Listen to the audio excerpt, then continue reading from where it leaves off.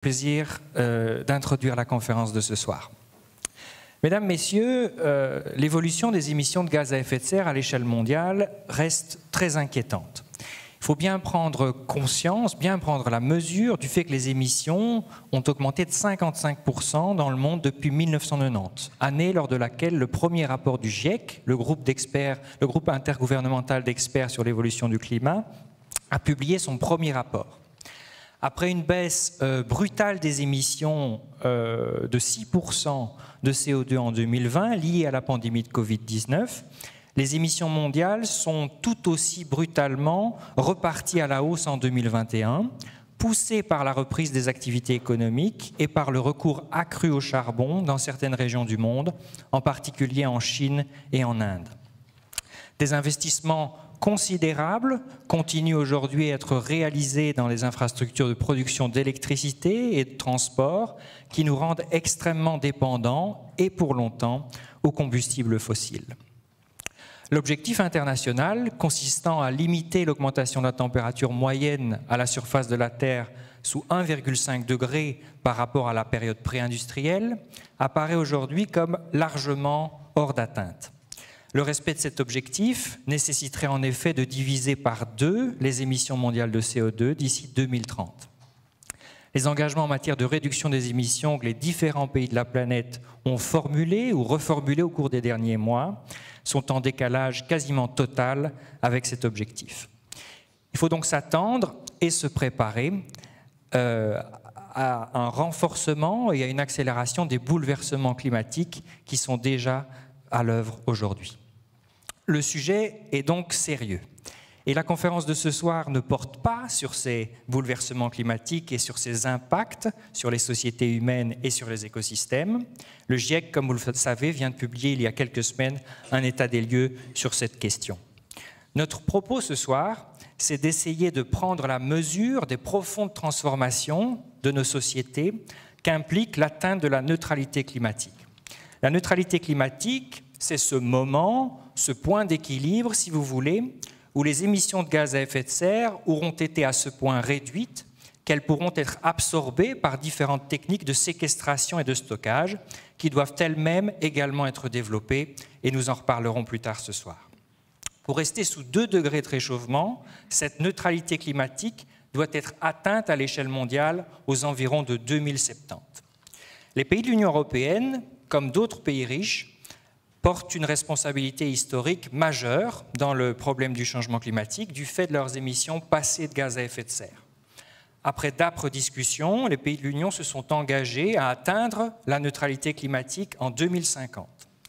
Le climat est plus que jamais un enjeu de préoccupation croissante des citoyens, en particulier des plus jeunes, dans la plupart des pays européens. Mais dans le même temps, les résistances sont fortes et des millions d'emplois dépendent des énergies fossiles. La transition énergétique présente des opportunités évidentes en matière d'indépendance énergétique et de lutte contre la pollution de l'air, par exemple, mais une transition mal gérée pourrait faire très mal. Et les émissions de gaz à effet de serre des pays de l'Union européenne ne pèsent que pour moins de 10% dans les émissions mondiales. Lutter contre le changement climatique implique donc une coordination mondiale sur ce sujet et des efforts de la part de tous les pollueurs. Or, le monde dans lequel nous vivons est un monde extrêmement inégalitaire, dans lequel un milliard de personnes n'ont pas accès à l'électricité. Un monde dans lequel les 10% des ménages les plus riches contribuent à environ 40% des émissions de gaz à effet de serre, alors que les 50% des ménages les plus pauvres ne contribuent qu'à hauteur de 14% des émissions. C'est aussi un monde en proie à des rivalités de tout type, économiques, géopolitiques ou même culturelles. C'est un monde qui a toujours un pied dans une pandémie et qui fait face à de multiples autres défis. Le contexte actuel, en particulier, est marqué par la guerre en Ukraine, dont on ne mesure pas encore pleinement les conséquences pour la lutte contre le changement climatique, mais dont on voit bien qu'elle fait déjà bouger les lignes et qu'elle pourrait mener à des bouleversements en matière d'approvisionnement énergétique, entre autres. Si la conférence de ce soir vise à examiner des obstacles, des points de blocage qui se dressent devant la réduction rapide des émissions de gaz à effet de serre. Elle vise aussi à identifier des leviers d'action et à mettre en évidence des avancées. car toutes les tendances ne sont pas aussi sombres que, celles que je viens de décrire. Depuis 2010, euh, par exemple, le prix des panneaux photovoltaïques et des éoliennes a largement diminué, de l'ordre de 85% pour le photovoltaïque, ce qui est considérable. En 2019, le solaire et l'éolien comptaient pour plus de deux tiers des nouvelles capacités de production électrique installées dans le monde. Certains pays riches ont atteint leur pic d'émissions il y a déjà plusieurs décennies et sont parvenus à réduire leurs émissions de façon parfois importante. Les émissions de CO2 du Royaume-Uni, par exemple, ont diminué de 39% depuis 1990, alors que le PIB anglais a augmenté de 78% au cours de la même période. Les émissions de CO2 du Danemark ont diminué de 42% depuis 1990, alors que le PIB danois a lui augmenté de 67% sur cette même période. Ce découplage entre les émissions de gaz à effet de serre et les activités économiques s'explique en partie par la délocalisation d'industries polluantes, en particulier jusqu'à la fin des années 2000.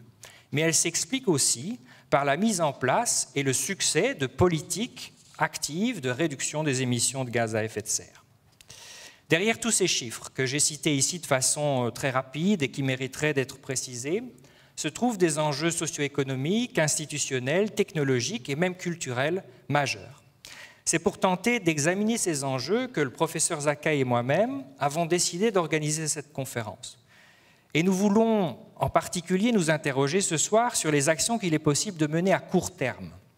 Car plus on attend pour réduire les émissions, plus les efforts futurs à consentir devront être intenses. Et nous avons, je dois dire, euh, le grand plaisir d'accueillir ce soir plusieurs spécialistes pour nous éclairer sur certains de ces enjeux, et je tiens vraiment encore une fois à les remercier d'avoir accepté notre invitation. Malheureusement, Amidahan et Anoutman sont toutes les deux positives au Covid et ne peuvent dès lors pas participer physiquement à la conférence de ce soir. Mais nous vous diffuserons euh, tout à l'heure une intervention vidéo de la part euh, d'Anoutman. Avec nous ce soir, en tout cas, et je les présente ici dans l'ordre dans lequel euh, nous allons les écouter, François Gemène, chercheur qualifié du FNRS à l'Université de Liège et directeur de l'Observatoire Hugo dédié à l'étude des migrations environnementales. Grand spécialiste de la géopolitique du changement climatique, il discutera notamment des conséquences que la guerre en Ukraine pourrait avoir sur la lutte contre le, changement climatique à l'échelle mondiale. Anout Mann, donc, interviendra par vidéo. Anout Mann est enseignante à Sciences Po Paris, précédemment conseillère principale à la direction générale de l'énergie de la Commission européenne, membre de l'Académie royale de Belgique, et elle brossera pour nous un panorama du contexte européen en matière de réduction des émissions de gaz à effet de serre. Vincent Van Steenberg, expert en politique climatique au sein du service public fédéral Santé publique, sécurité de la chaîne alimentaire et environnement, nous parlera des défis qui nous attendent sur les chemins d'une Belgique climatiquement neutre à l'horizon 2050. Enfin, Thierry Philippona, cofondateur et économiste en chef de l'ONG Finance Watch et président de la commission climat et finances durables de l'autorité euh, française des marchés financiers, nous éclairera sur les promesses et les concrétisations de la finance verte ou finance durable pour accélérer la transition. Chaque intervention sera limitée à 20 minutes de façon à ce qu'on puisse euh, avoir des échanges avec la salle en fin de, conférence. Et avant de céder la parole à François Gemène, je, voudrais tout de même encore une fois remercier le professeur Edwin Zakai avec lequel nous avons organisé cette conférence. Remercier aussi Émilie Moutombo, Valérie Bombards, Cécile Van de Weert et Willy Couver, de même que l'équipe euh, technique qui filme aujourd'hui cette conférence. Je dois aussi souligner que cette conférence euh, bénéficie du soutien de l'ARES, c'est l'Académie de recherche et d'enseignement supérieur, et qu'elle prend place dans une série de séminaires, une série de conférences même plus larges, organisées par les universités de la Fédération Wallonie-Bruxelles. Je vous invite d'ailleurs à consulter les vidéos des autres conférences de ce cycle sur le site amphidurable.be. Je vous signale aussi que vous pourrez retrouver la vidéo de la conférence de ce soir euh, sur le site euh, euh, du pôle environnement et société de l'ULB, c'est cedd-pes.com, et vous, sur ce, vous retrouverez sur ce même site cedd-pes.com les conférences précédentes organisées par le pôle environnement et société de l'ULB sur une grande variété de sujets biodiversité, pollution de l'air, extraction des minerais, végétarisme, et j'en oublie euh, beaucoup d'autres. Voilà, je vais maintenant céder la parole à François Gemène et je vous retrouve pour ma part d'ici 1h20 environ pour euh, essayer d'animer euh, les questions et réponses que, que nous pourrons avoir. Merci beaucoup en tout cas et bonne conférence.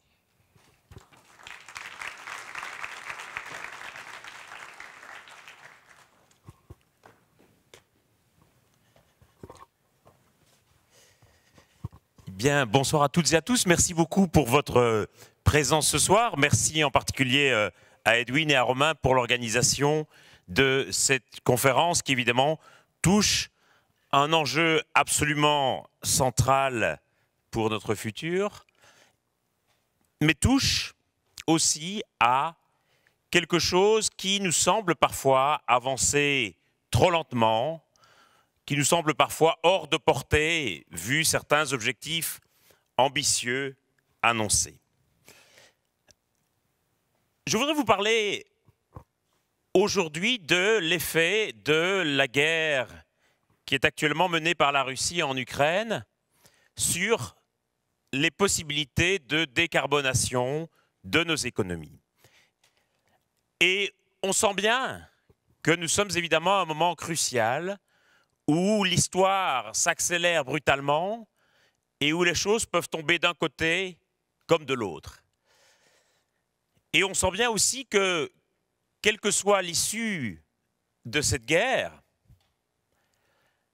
on sent bien que le monde et l'ordre international ne seront plus les mêmes après et qu'il y a une série de lignes qui sont en train de bouger. Dans l'Union européenne, ce sont des lignes qui concernent évidemment la défense européenne, ce sont des lignes qui concernent sans doute les politiques d'asile et d'immigration, ce sont des lignes qui concernent la question de l'élargissement, avec aujourd'hui plusieurs pays qui frappent à la porte et dont on va examiner la demande de façon accélérée, et puis sans doute aussi des lignes qui sont en train de bouger très rapidement sur les questions énergétiques. Aujourd'hui à Bruxelles, le président américain Biden a demandé que les Européens répondent à la demande du président Zelensky de cesser les importations de gaz et de pétrole russe. Et les Européens ont répondu qu'ils souhaiteraient pouvoir le faire, mais qu'ils en sont incapables. Et que Aujourd'hui, nous priver des importations de gaz et de pétrole russe reviendrait à assumer pour certains pays européens des ruptures d'approvisionnement qui feraient peser de trop lourdes conséquences économiques. On pensera ce qu'on veut de cette décision, et ce n'est pas le propos du moment, mais toujours est-il que à l'heure actuelle, nous envoyons chaque jour plus de 700 millions d'euros à la Russie pour lui acheter du gaz et du pétrole. Et nous nous rendons compte aujourd'hui que si nous avions engagé la transition énergétique il y a maintenant 10 ou 20 ans, nous ne serions évidemment pas dans cette situation aujourd'hui. Parce que pendant 20 ans, nous avons été, nous Européens, étonnamment complaisants avec les exactions de Vladimir Poutine.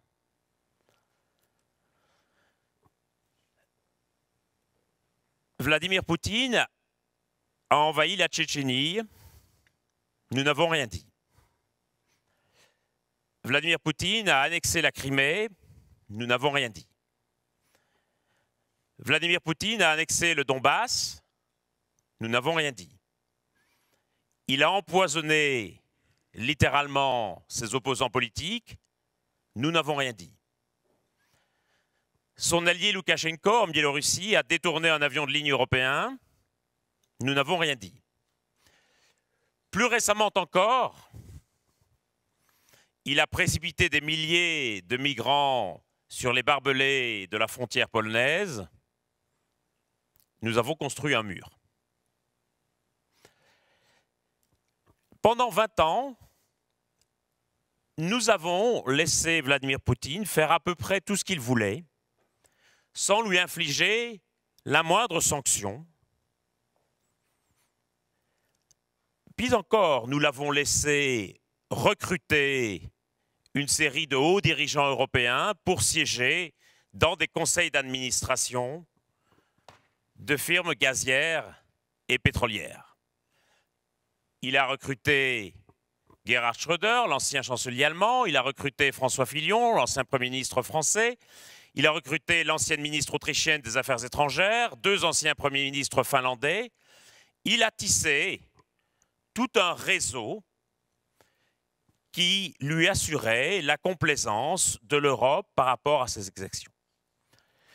Et pourquoi est-ce que nous n'avons rien dit? Pour une raison très simple, parce que nous ne voulions pas nous fâcher avec notre dealer d'hydrocarbures. Parce que nous savions très bien que tout accroc dans la relation avec Poutine risquait de mettre en danger nos politiques énergétiques.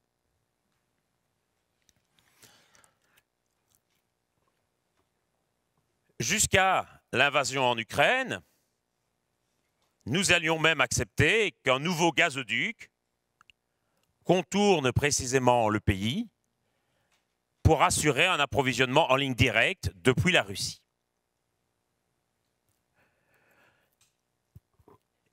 Il est évident que si nous nous étions débarrassés du gaz et du pétrole russe il y a 10 ou 20 ans, en d'autres termes, si nous n'avions pas attendu aussi longtemps pour engager la transition énergétique et la décarbonation de nos économies, il est évident que d'une part, nous serions en mesure d'imposer des sanctions beaucoup plus sévères encore à la Russie, et on peut même, sans refaire l'histoire, faire l'hypothèse que Vladimir Poutine y aurait réfléchi à deux fois avant d'envahir l'Ukraine, sachant qu'il n'avait pas de levier de pression vis-à-vis des Européens. Aujourd'hui, comme sanction, nous en sommes réduits à saisir les biens et les fortunes des oligarques qui l'entourent, oligarques qui ont fait leur fortune en nous vendant du gaz et du pétrole. En quelque sorte, nous saisissons notre propre argent. Et on a l'impression, effectivement, que cette guerre commence à faire réfléchir plusieurs chancelleries européennes sur les questions de stratégie énergétique, sur les questions de souveraineté énergétique, et que cette crise pourrait bien effectivement être une forme d'accélérateur de la transition énergétique comme si en quelque sorte l'argument de la menace climatique n'avait pas suffi, et comme s'il fallait lui ajouter un argument géostratégique de paix et de sécurité. Et ce qui est frappant aujourd'hui, c'est de voir qu'effectivement, lorsque vous écoutez à la télévision les experts en géopolitique, en défense et en sécurité, vous avez l'impression d'entendre les climatologues du GIEC qui tiennent exactement le même discours sur la nécessité de sortir immédiatement des énergies fossiles. Et à cet argument de paix et de sécurité s'ajoute aussi un argument qui compte énormément pour les gens, c'est-à-dire l'argument du pouvoir d'achat. Parce que le prix des factures énergétiques a explosé ces dernières semaines, parce que le prix des carburants à la pompe à essence a lui aussi explosé, et que donc chacun réalise bien que la transition énergétique permettrait évidemment de réduire considérablement nos émissions de gaz à effet de serre, mais permettrait aussi de ne plus dépendre des hydrocarbures fournis par des régimes autoritaires et permettrait encore d'alléger la facture énergétique. Pour autant, il n'est pas certain que la guerre accélère. La transition énergétique. Et on peut même craindre certains retours en arrière. Parce que pour se passer du gaz et du pétrole russe, les Allemands vont négocier des contrats gaziers au Qatar, les Américains vont négocier des contrats pétroliers au Venezuela. On va troquer des hydrocarbures d'un régime autoritaire pour des hydrocarbures d'un autre régime autoritaire. C'est comme si on troquait la peste pour le choléra.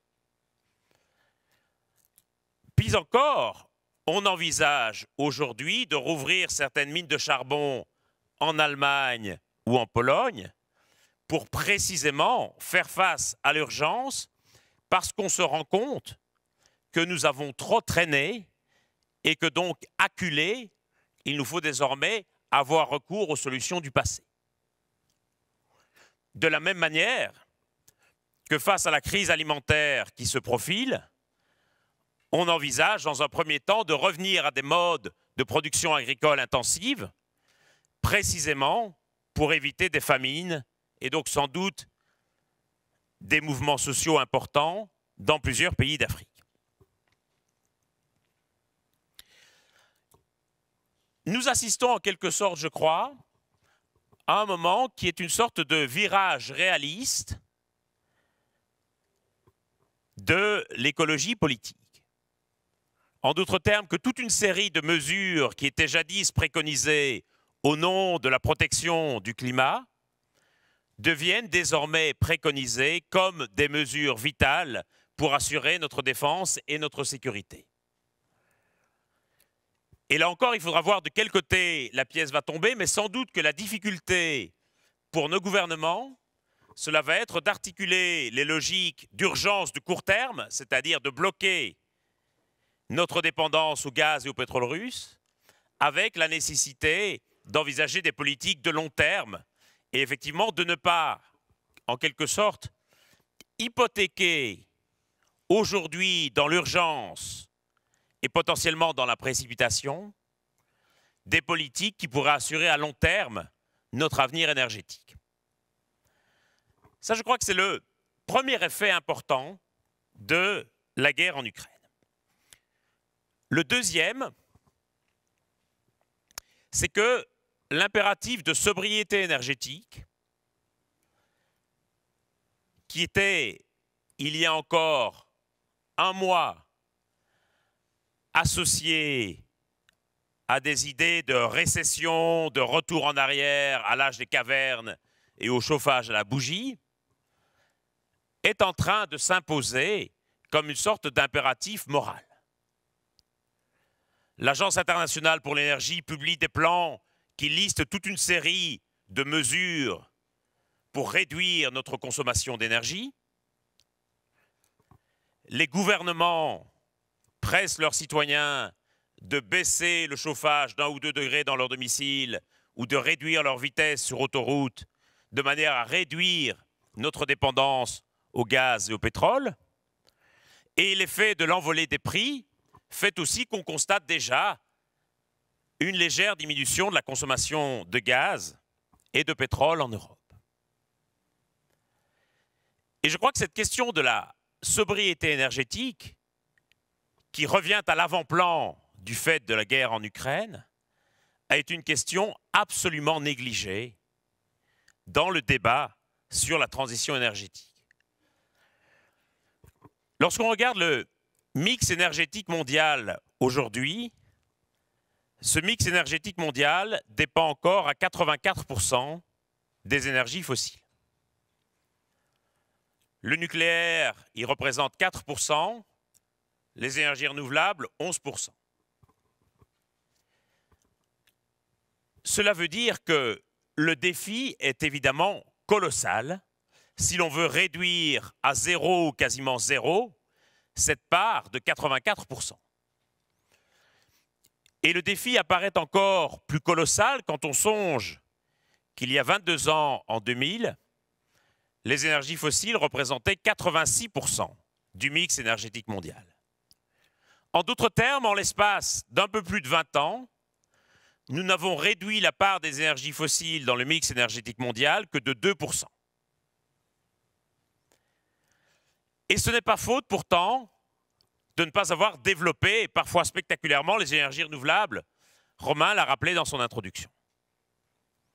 Mais ce qui s'est passé,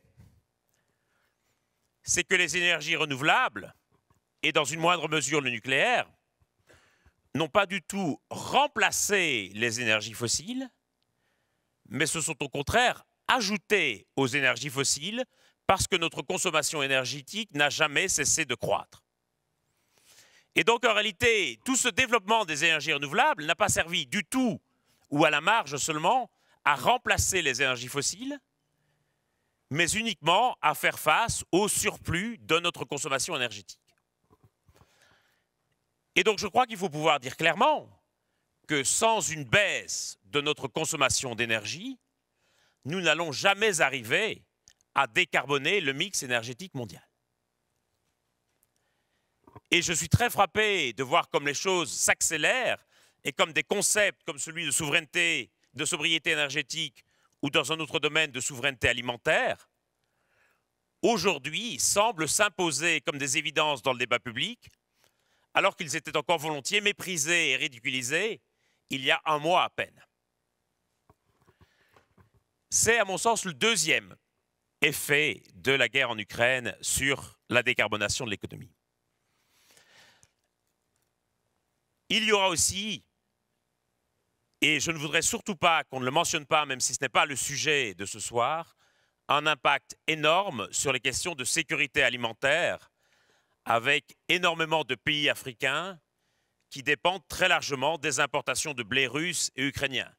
La Somalie, par exemple, pays sujet notoirement à l'instabilité politique et aux famines, dépend à 100% des importations de blé russe et ukrainien. L'Égypte ou le Soudan, deux pays qui ont connu au cours des dernières années des soulèvements populaires en protestation contre la hausse des prix de l'alimentation, dépendent à plus de 70% de ces importations de blé russe et ukrainien. Et donc, le raisonnement tenu pour les questions énergétiques pourrait aussi être tenu dans une large mesure, mutatis mutandis, sur les questions alimentaires. Le troisième effet de la guerre en Ukraine sur la décarbonation de l'économie et du mix énergétique, à mon avis, il va concerner quelque chose dont on ne parle pas encore aujourd'hui, c'est la question de la coopération internationale en matière de lutte contre le changement climatique.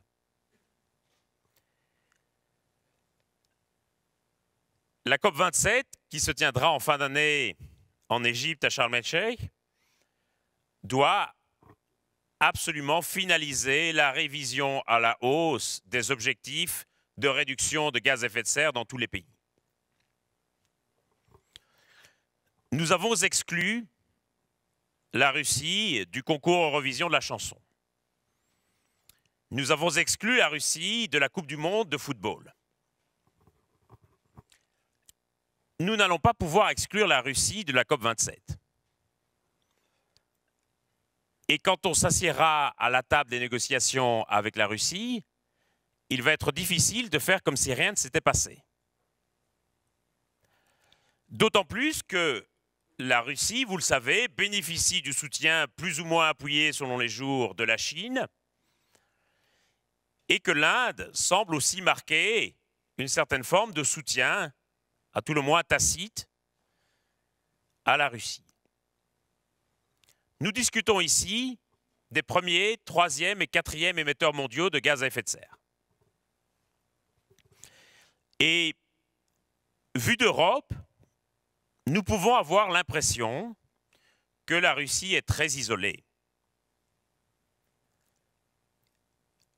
Je crois qu'il ne faut pas céder à ce biais de perception et réaliser que la Russie compte et comptera des alliés puissants dans la reconfiguration de l'ordre international qui se dessine.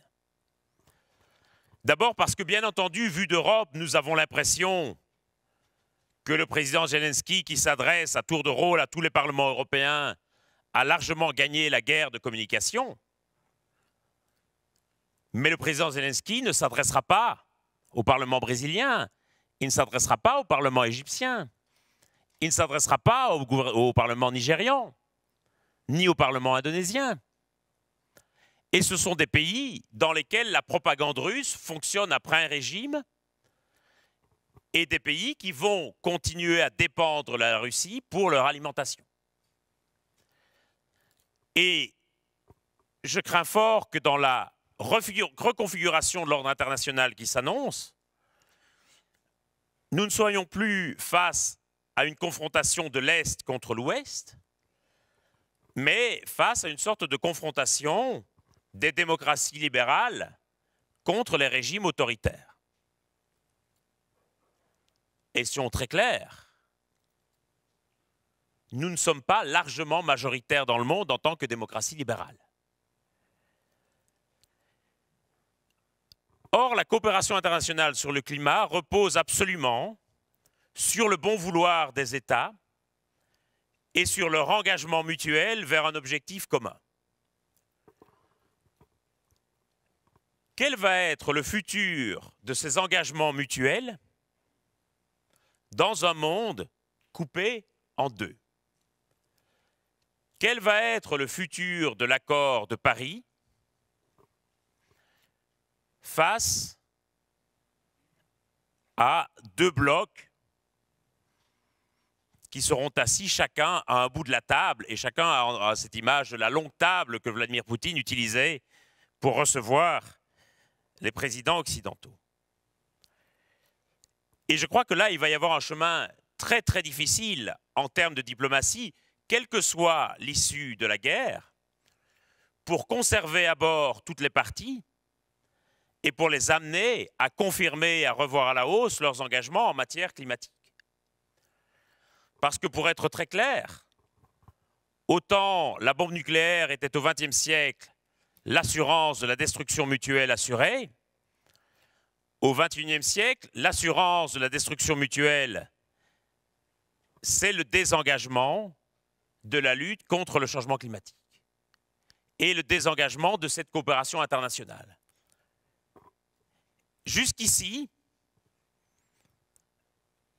les États-Unis et la Chine avaient réussi à sanctuariser la coopération internationale sur le climat et à faire en sorte que différentes tensions ou différents ordres commerciaux n'affectent pas les négociations sur le climat comme si elles étaient dans une sorte de bulle ou de sanctuaire. Mais ici, nous sommes évidemment face à bien plus qu'un différent commercial. Et comme je le disais, il sera très difficile à la COP27 de faire comme si rien ne s'était passé. Et quelle que soit l'issue de la guerre, il faudra forcément plusieurs années pour penser les plaies.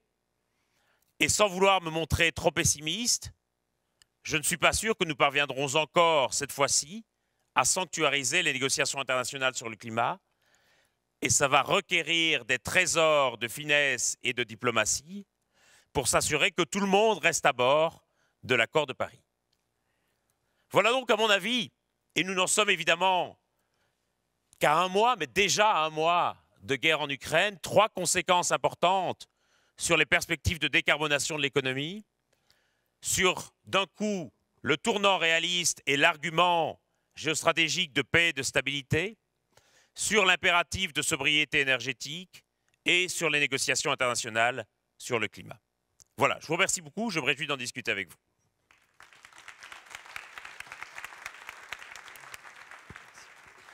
Un très grand merci François. Euh, je vais laisser toutes les questions-réponses pour la dernière partie de la euh, conférence parce que j'imagine qu'on en aura beaucoup. Alors.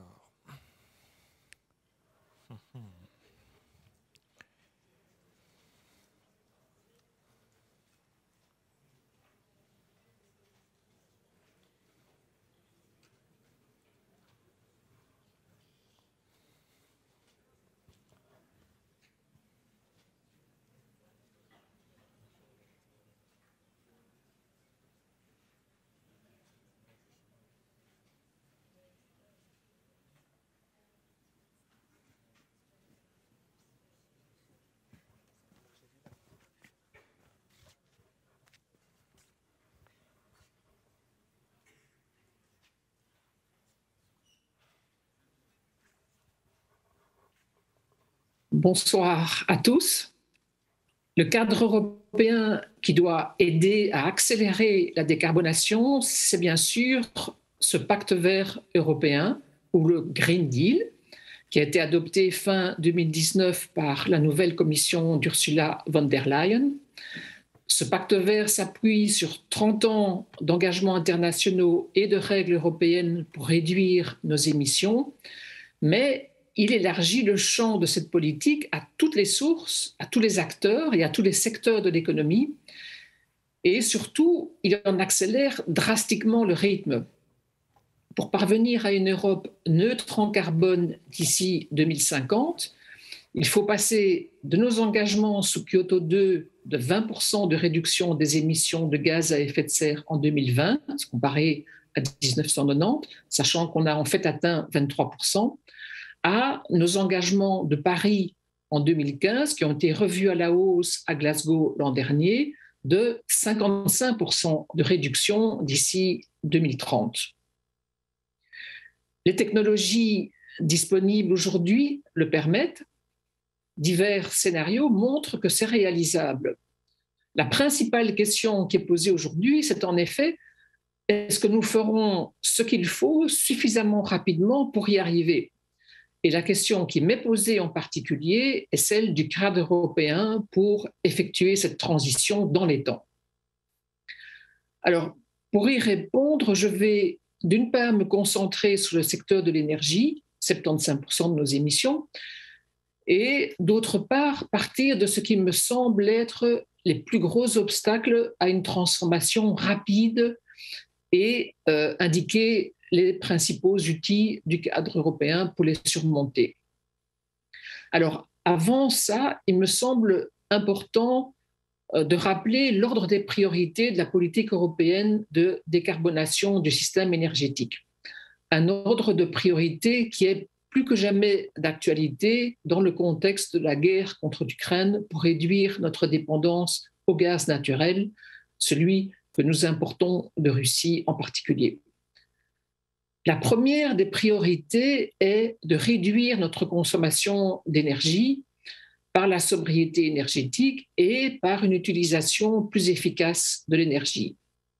C'est ce qu'on appelle le principe de primauté de l'efficacité énergétique.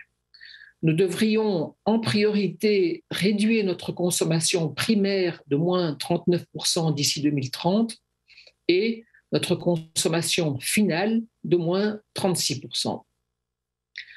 Ensuite, l'énergie que nous devons quand même consommer devrait provenir pour au moins 40% de sources renouvelables. Enfin, pour compenser les consommations que nous n'aurons pu ni éviter ni décarboner, des technologies d'émissions négatives doivent être utilisées. En particulier, par l'absorption nette d'ici 2030 de l'équivalent de 310 millions de tonnes de CO2 par l'utilisation des terres, les changements d'affectation des terres et la foresterie, avec des objectifs nationaux spécifiques qui sont actuellement en négociation. Alors venons-en aux obstacles. Premier gros obstacle selon moi, il s'agit d'une transformation profonde qui nécessite des investissements rapides très importants. On parle en anglais d'une transformation qui est front-loaded. Rien que dans le secteur de l'énergie, il faut investir 1040 milliards d'euros par an jusqu'en 2030, c'est-à-dire 360 milliards de plus par an qu'au cours des dix dernières années. Et ces investissements ne sont pas sans risque. Le premier outil typiquement européen est celui de fixer des objectifs chiffrés par secteur pour donner de la visibilité aux investisseurs. Par exemple, la Commission propose que les États soient exemplaires dans leur politique de consommation et de rénovation des bâtiments. En rénovant chaque année au moins 3% de la surface des bâtiments publics et en diminuant d'un pour cent par an la consommation énergétique du secteur public. Les États membres, eux, doivent aussi mettre en œuvre des plans de rénovation à long terme de l'ensemble du parc immobilier national et atteindre 49% de renouvelables dans la consommation finale des bâtiments d'ici 2030. Deuxième outil européen, c'est celui du marché, qui doit donner les bons signaux d'investissement avec d'abord, si l'on veut décarboner au moindre coût, un prix du carbone pour les grandes installations les plus polluantes. Le système européen euh, de quotas d'émissions, qui existe depuis 2003, est en révision pour atteindre une réduction de 61% des émissions des installations couvertes d'ici 2030 par rapport à 2005, soit presque un triplement de l'objectif de 21% qu'on avait pour 2020. La, Commission européenne propose aussi euh, d'étendre ce système d'échange au transport maritime et aérien et surtout de créer un deuxième marché du carbone pour le transport routier et des bâtiments. Cette proposition de deuxième marché, qui est justifiée par le fait que les émissions de ce secteur ne cessent d'augmenter, a un impact social évident qui en fait le texte le plus controversé actuellement sur la table du législateur parmi toutes les mesures proposées pour atteindre les fameux 50% de réduction de nos émissions d'ici 2030. Ensuite, euh, la révision d'une directive de 2030 sur la taxation des produits énergétiques doit, elle, donner les bons signaux au consommateur, au. Ce sera difficile parce qu'il faut l'unanimité des États membres, mais c'est indispensable le texte actuel permet et même encourage des subventions aux énergies fossiles et il ne favorise pas l'électrification nécessaire des usages, qui est une priorité si on veut décarboner efficacement le système énergétique. Enfin, euh, l'organisation du marché de l'électricité a été revue en 2019 pour faciliter l'entrée des productions renouvelables variables éolien et solaire. L'organisation du marché du gaz est-elle en cours de discussion pour faciliter le remplacement progressif du gaz naturel par des gaz renouvelables ou bas carbone, en particulier euh, le biométhane et euh, l'hydrogène vert? Troisième outil, celui des règles sectorielles spécifiques. Par exemple, les garanties d'origine pour les renouvelables ou euh, les certificats de performance énergétique des bâtiments. Et je voudrais surtout mettre l'accent ici sur les mesures que doivent mettre en œuvre les États membres pour réduire la durée des procédures d'octroi de permis pour les installations de production de renouvelables et euh, les infrastructures pour leur transport et distribution, qui constituent un des principaux obstacles au déploiement rapide des renouvelables à grande échelle. En particulier, les États membres doivent simplifier les procédures d'octroi de permis, appliquer des règles transparentes, instaurer des points de contact uniques pour les porteurs de projets et se fixer une limite de deux ans pour l'octroi du permis, un an pour les petites installations euh, en dessous de 150 kW ce qui évidemment n'empêche pas les recours en justice qui peuvent prendre des années. Mais si l'on veut sauver la planète, il faut accepter les infrastructures nécessaires.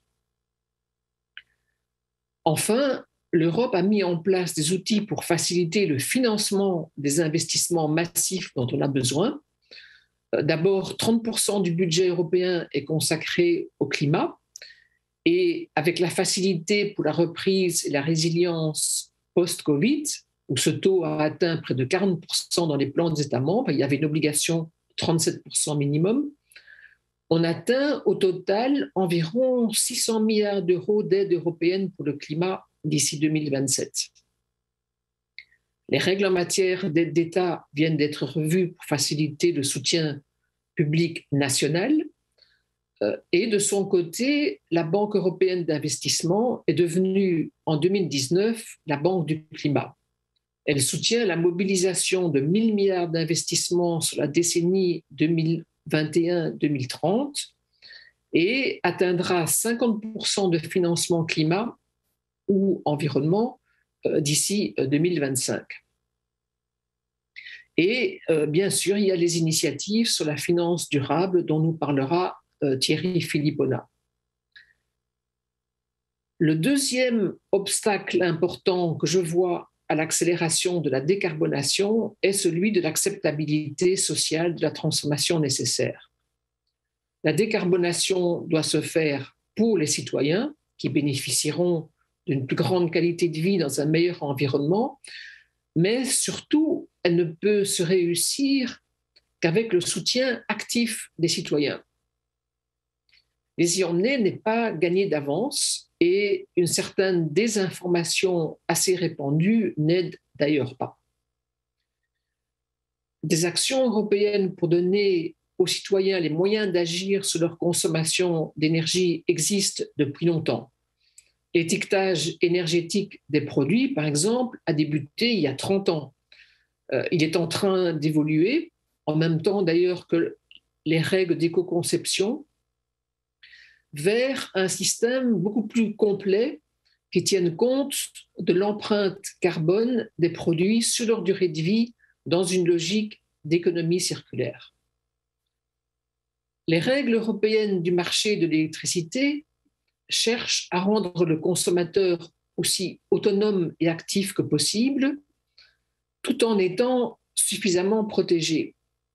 Donc en renforçant ses droits contractuels et en lui donnant la possibilité d'agir, notamment en gérant mieux sa demande, en évitant par exemple les heures de pointe de consommation, en autoproduisant sa propre électricité, en la stockant, en la partageant ou en la revendant individuellement ou bien au sein de communautés d'énergie renouvelable citoyennes ou encore à travers des agrégateurs. Le règlement européen sur la gouvernance énergie-climat impose aux États membres des consultations larges de toutes les parties prenantes, y, y compris la société civile et le grand public, dans la préparation des plans nationaux. Enfin, dans le cadre du Green Deal, l'Europe a lancé fin 2020 un pacte climat pour rassembler les acteurs locaux et de la société civile pour consulter, informer, susciter des initiatives et des solutions et amener les changements de comportement indispensables. Par tous ces exemples, je veux montrer que les outils européens existent, mais surtout souligner qu'ils n'agissent pas tout seuls. Il faut que les États membres et les pouvoirs locaux les mettent en œuvre, que les acteurs de marché les appliquent et que les citoyens s'en saisissent dans leur propre intérêt, dans celui du climat et dans celui de la démocratie. Enfin, le troisième obstacle important est évidemment celui d'une transformation qui est inégalitaire dans ses effets surtout à court et à moyen terme, autant que le sont d'ailleurs les causes des changements climatiques. C'est un frein à l'action individuelle, c'est un frein surtout à l'action des gouvernements confrontés à des, échéances électorales rapprochées. Et il y a bien des perdants de la transformation, comme les régions dépendantes du charbon, les travailleurs dans des activités appelées à disparaître ou les consommateurs vulnérables. La protection des consommateurs vulnérables est une obligation des États membres depuis l'ouverture des marchés européens et les mesures européennes contre la pauvreté énergétique ont été encore renforcées en 2018 et 2019 en lien avec la transition énergétique avec en particulier une priorité à donner aux ménages concernés dans les plans nationaux de rénovation des bâtiments et, par exemple, une interdiction d'interrompre immédiatement la fourniture d'énergie en cas de non-paiement. La Commission a créé il y a cinq ans un observatoire de la pauvreté énergétique qui permet de rassembler des données, d'échanger des analyses et les bonnes pratiques la réforme du système d'échange de quotas d'émissions pour atteindre les objectifs climatiques de 2030 a donné lieu à la création d'un fonds de modernisation qui est alimenté par les enchères de 2% des allocations du système pour aider les 10 pays les plus pauvres à décarboner leur système énergétique. La Commission a également proposé un fonds climat pour compenser les effets sociaux d'un d'un éventuel deuxième système d'échange de quotas d'émissions dans le routier et le bâtiment, qui serait financé par les recettes de ces enchères qu'on estime à 72,2 milliards d'euros pour la période 2025-2032, euh, ce qui permettrait, avec une contrepartie des États membres, de mobiliser le double de cette somme. Enfin, euh, dans le cadre du Green Deal, l'Europe a créé un mécanisme pour une transition juste, avec un budget de près de 20 milliards sur la période 2021-2027, pour aider les territoires les plus impactés négativement par la transition à se reconvertir, à diversifier leur économie et à former les travailleurs concernés à de nouvelles activités. De nouveau, on a un cadre européen qui offre une boîte à outils assez riche, mais comme toutes les boîtes à outils, elle n'est utile que si l'on s'en sert. Les enjeux sociétaux et sociaux de la transition ne sont ni négligeables, ni négligés par l'Europe, mais euh, l'Europe ne peut pas tout. Les paysans savent qu'avant de récolter, il faut semer, et je pense que chacun de nous doit semer un peu. Je vous remercie pour votre attention et je vous souhaite euh, un très bon débat euh, ce soir.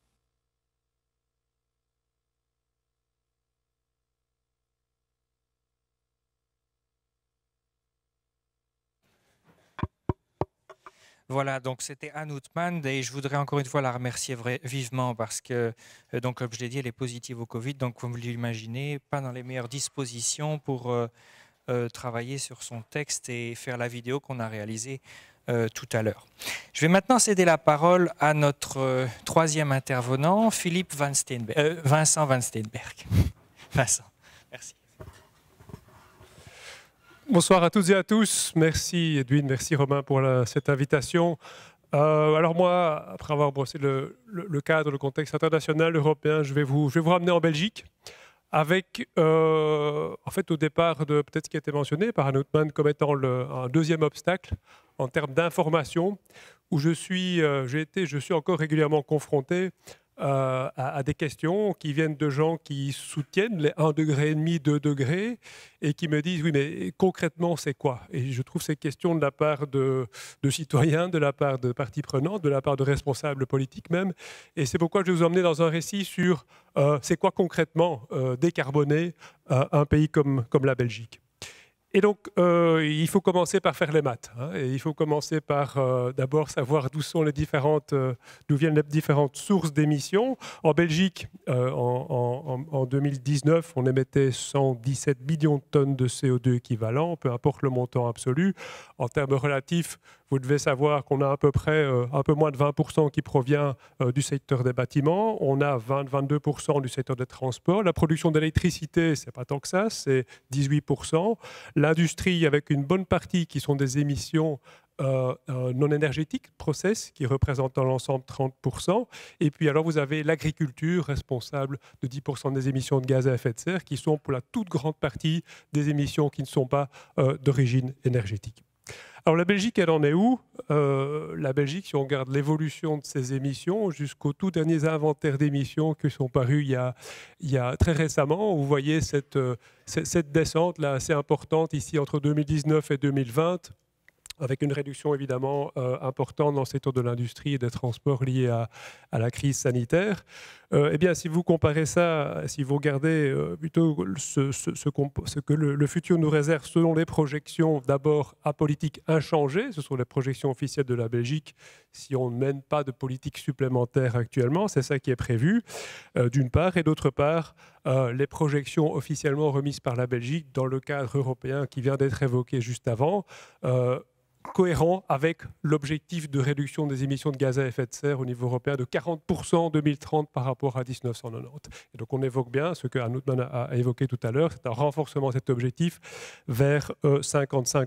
Euh, Est-ce que ça va suffire? Donc l'enjeu, il est celui-là, c'est de au moins tripler euh, l'effort annuel euh, moyen en termes de réduction d'émissions euh, et donc d'articuler toutes ces politiques en lien avec ces objectifs à l'horizon 2030. Et donc ce qui va être déterminant, c'est, et de nouveau le cadre européen ici nous aide énormément en Belgique, ça va être de définir ces nouvelles politiques et mesures dans le cadre de ce qu'on appelle un plan national énergie-climat qui va devoir être remis dans un peu plus d'un an, en tout cas une version provisoire auprès de la Commission européenne. Donc il y a tout, un mouvement qui est en train de, se mettre en place pour le moment au niveau belge, donc au niveau des entités, au niveau des régions, au niveau du fédéral aussi, pour construire ceci avec donc cet enjeu de euh, est-ce qu'on va arriver à se mettre euh, sur cette trajectoire ici décrite en rouge.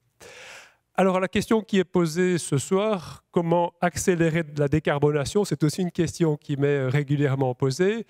Euh, le premier mot qui me vient à l'esprit euh, quand on parle de cela, c'est le mot inertie.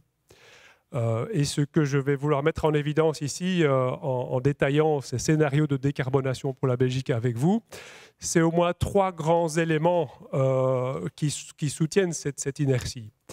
Premier élément, il est relatif au fait que les changements qui sont nécessaires pour arriver à zéro en 2050, donc en moins de 30 ans, ces changements, ils sont énormes, ils sont très profonds d'une part, et d'autre part, ils sont systémiques on va toucher à beaucoup, beaucoup de choses, à beaucoup de domaines. C'est évidemment, on le sait, pas uniquement des éoliennes et des panneaux solaires euh, à installer. C'est un véritable Mikado. Et donc, dès qu'on veut bouger un élément de ce Mikado, tout, tout, tout, se met en branle. Et donc, la difficulté ici, ça va être euh, de pouvoir mettre en place euh, d'abord une vision commune dans tous les différents domaines concernés, y compris au niveau politique, d'une part, et d'autre part, d'assurer la cohérence et la coordination entre ces différents domaines.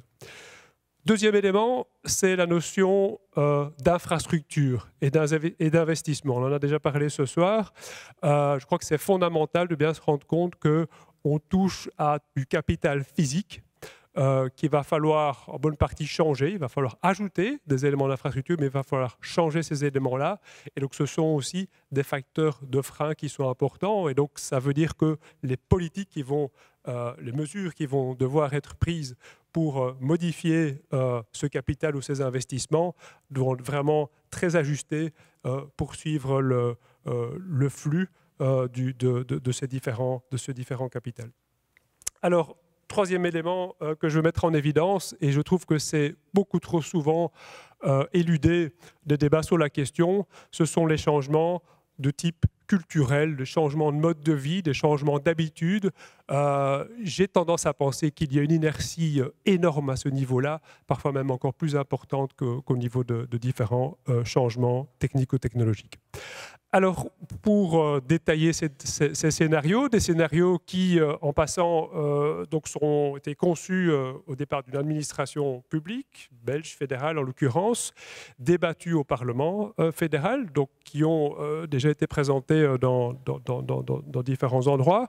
ils reposent sur un outil, un outil qui a été développé par des chercheurs de, de Clibact pour nous et avec lequel on a joué sur toute une série de leviers de décarbonation. Vous voyez toute une série de, leviers qui sont représentés à gauche. Vous avez un lien Internet parce que cet outil, il est en ligne. Et cet outil a pour vocation justement euh, de favoriser le débat sur la, la, transition en essayant de mettre en perspective justement l'importance de ces leviers et les arbitrages qu'il y a à faire entre ceux-ci pour arriver à la neutralité euh, climatique en 2050. Alors avec cet outil, on a construit un ensemble de scénarios. D'abord un scénario qu'on a appelé scénario de référence, euh, donc un scénario qui est considéré comme étant un politique inchangé. On tient juste des tient compte des évolutions euh, technologiques classiques sans, sans, nouvelle rupture, une évolution de la population à la, à la, hausse, par exemple en Belgique. Et puis alors on propose cinq ensembles de, de scénarios de décarbonation, en commençant par mettre en évidence justement ces différents narratifs. Il y a plusieurs chemins pour arriver à, la décarbonation complète en 2050. On a voulu mettre en évidence justement le fait qu'on pouvait s'appuyer tantôt davantage sur des changements de comportement marqués euh, et que si on ne le faisait pas, à ce moment-là, on devait s'appuyer davantage sur des, changements technologiques. Au milieu de cela, un scénario central euh, que je vais beaucoup utiliser euh, pour présenter les scénarios et puis alors quelques analyses de sensibilité sur des aspects plus énergétiques, notamment en termes de mix énergétique. Alors le premier, le premier résultat, euh, ben, c'est déjà pas mal, c'est de se dire que techniquement parlant, on est capable au moins d'identifier les leviers qui vont amener à la neutralité climatique en 2050 en Belgique. Donc par neutralité climatique, on veut dire ici zéro émission en net. On ne va pas pouvoir arriver à, zéro émission euh, en tant que tel. On arrive vers une réduction de 95% de cet ordre-là qu'on va devoir compenser par des techniques qui ont été évoquées juste avant par euh, Anne Houtman. Euh, cela veut dire que, en, l'occurrence, le secteur de l'industrie est un secteur dans lequel on sait qu'on a du mal à arriver jusqu'au bout à décarboner complètement. Et dans l'agriculture, vu notamment la présence d'émissions autres que le CO2, euh, on va aussi euh, euh, se retrouver avec des émissions positives qui vont devoir être compensées. Alors, ce graphique-ci est peut-être plus intéressant. de nouveau, ici, on parle du, scénario central. Il fait écho à ce qui a été dit juste avant aussi en termes de sobriété énergétique. Ce que vous avez ici, c'est la demande finale en énergie. Ce que vous voyez enfoncé, ce sont les combustibles fossiles et puis en orange, c'est l'électricité. Et là, ce qu'on voit, c'est ce qui a été dit précédemment, notre dépendance aux énergies fossiles, si on fait la transition, eh bien, elle arrive à, à zéro, pratiquement zéro. On, en aura encore probablement besoin avec des techniques notamment de, capture et de stockage du carbone euh, dans l'industrie, en tout cas pour ce qui nous concerne en, Belgique, mais ça deviendra très très peu de choses. Qu'est-ce qu'on va avoir dans la transition? Une baisse considérable, on l'a évoqué, de la demande euh, finale en énergie ici de, moins 50%, même plus dans, ce scénario-ci. Vous voyez en orange l'électricité, et donc l'électricité, même si euh, ça augmente relativement peu en absolu, en termes relatifs, ça devient euh, majeur. Et donc, on parle vraiment d'électrification euh, du système énergétique à, long terme. Pour la biomasse, c'est un peu le même récit. La biomasse, euh, on en voudrait, on en voudrait beaucoup plus, mais on doit faire très attention à ses usages énergétiques parce qu'on en a besoin ailleurs, et en l'occurrence ici dans l'industrie, pour ce qu'on appelle les matières premières, les feedstocks. et puis, et puis l'apparition en bleu de ces nouveaux euh, euh, combustibles, carburants synthétiques basés sur l'hydrogène euh, et, qui vont être produits, pouvoir être produits qu'en quantité limitée, voire très limitée sur le territoire belge. Donc ici déjà un point d'attention par rapport à la notion de dépendance énergétique qui a été évoquée tout à l'heure, où on le sait, et vous l'avez même appris par la presse aussi, que des contacts sont déjà pris par rapport à, différents développements en, en cette matière. Alors, euh, tout ceci, cette transition, ces changements du système énergétique, euh, vont s'appuyer sur des, investissements. J'ai évoqué tout à l'heure la, notion de capital physique. Je voudrais ici, par, euh, ce, graphique, mettre en évidence le fait que toute une série d'équipements, notamment d'équipements domestiques, ceux qu'on retrouve dans le bas du graphique, quand on parle d'équipements ménagers, quand on parle même de voitures, ont une durée de vie de l'ordre de 10 à, à 20 ans, grosso modo c'est déjà pas rien. Hein. on vise 2050, on sera déjà, si on prend 20 ans, on sera déjà en 2040. Quand on prend euh, des, machines, des équipements industriels, euh, on est vite sur une période de 30, 40, voire 50 ans. Donc c'est déjà, on est déjà automatiquement en 2050. Et puis évidemment, dès qu'on parle de bâtiments, dès qu'on parle d'infrastructures routières ou autres, euh, on est sur des durées qui dépassent potentiellement le siècle. Et donc ces éléments-là, à mon sens, sont fondamentaux pour comprendre l'inertie, la difficulté euh, de modifier rapidement euh, notre, notre système. Toujours sur la notion d'investissement euh, en termes d'ampleur, ce que vous avez ici à gauche, c'est euh, les investissements que l'on fait. On fait chaque année énormément d'investissements dans le système énergétique, entre 5 et 10 du PIB. Donc c'est beaucoup, c'est beaucoup de ressources qui sont consacrées à ces investissements. Dans la transition, on va faire quoi? On va faire un changement dans le type d'investissement et en plus des investissements supplémentaires. Dans ce scénario central, on est autour de 10 à 15% d'investissements supplémentaires. Dans un scénario plus comportemental, on est un peu plus sobre encore, on a un petit peu moins euh, euh, d'augmentation de, ces investissements et un peu plus dans un autre scénario. Peu importe le montant exact, c'est la tendance qui compte, avec le message suivant aussi qui est que euh, la facture énergétique que vous voyez ici évoluer dans le scénario à politique inchangée, dans le scénario de référence, qui s'appuierait alors encore énormément sur des combustibles fossiles et l'électricité principalement, mais cette facture, forcément, elle est, elle est complètement changée, elle est bousculée. on n'a plus ces éléments-là. Alors, ce qui ne veut pas dire que les prix des combustibles fossiles vont diminuer. On pourrait très bien avoir des formes de tarification du carbone qui font en sorte que à ce moment-là, on a des prix qui continuent à augmenter, mais des recettes à ce moment-là qui reviennent, qui reviennent à l'État et qui pourraient être redistribuées. Donc, ce n'est pas une, perte en, tant que telle. Donc, on aurait une tendance à la baisse très claire pour les combustibles fossiles, la facture pour l'électricité qui aurait tendance à légèrement augmenter, puis surtout l'apparition euh, de ces dépenses pour les carburants synthétiques euh, coûteux plutôt coûteux, donc à utiliser de manière parcimonieuse, mais qui vont être une solution importante pour le secteur de l'industrie. Alors je vais passer rapidement en revue ici les différents secteurs de la demande, à commencer par le secteur des bâtiments. Euh, Anne Houtman a déjà évoqué des taux de rénovation euh, de 3% pour le secteur public, de 3% par an, donc ça c'est une obligation. Euh, ce qu'on trouve dans nos scénarios, c'est que c'est pour l'ensemble du parc qu'il faut arriver à, 3% par an. Donc vous avez ici une visualisation en gris de l'ensemble du parc euh, euh, immobilier en, Belgique, en, mètres carrés. en orange, c'est le parc qu'il faut graduellement, jour après jour, euh, rénover complètement pour avoir un parc euh, relativement sobre euh, en termes énergétiques et arriver à décarboner le secteur des bâtiments. Un taux de 3% de rénovation par an, ce sont même des rénovations profondes, c'est beaucoup, c'est énorme. On est à 1% actuellement. Et donc, ce qui veut dire que on va arriver, on va forcément arriver sur des, contraintes en termes de main-d'œuvre, qualifiés pour euh, euh, ce, genre de travaux en termes de ressources potentiellement. Et si on n'arrive pas à faire des rénovations profondes d'un coup, euh, le taux de 3%, si on le fait en deux fois, si on fait toutes ces rénovations en deux fois, va passer à 6%. Donc l'enjeu, le défi, à ce moment-ci, il est majeur. De nouveau, l'inertie est fortement présente ici aussi. En termes de changement de comportement aussi, ce graphique illustre un autre élément. Vous voyez que alors que la population est supposée croissante, jusque 2050. Vous voyez ici qu'on a plafonné le nombre de mètres carrés. Ça résulte d'hypothèses qui sont faites sur le nombre de mètres carrés utilisés par habitant. Donc on irait vivre davantage dans des appartements, moins de maisons, quatre façades, un aménagement du territoire différent. Ça, c'est dans ce scénario. Il y a des scénarios avec d'autres choses. Mais ce scénario implique aussi de tels changements et donc une sobriété qui va au-delà de la question purement du système énergétique.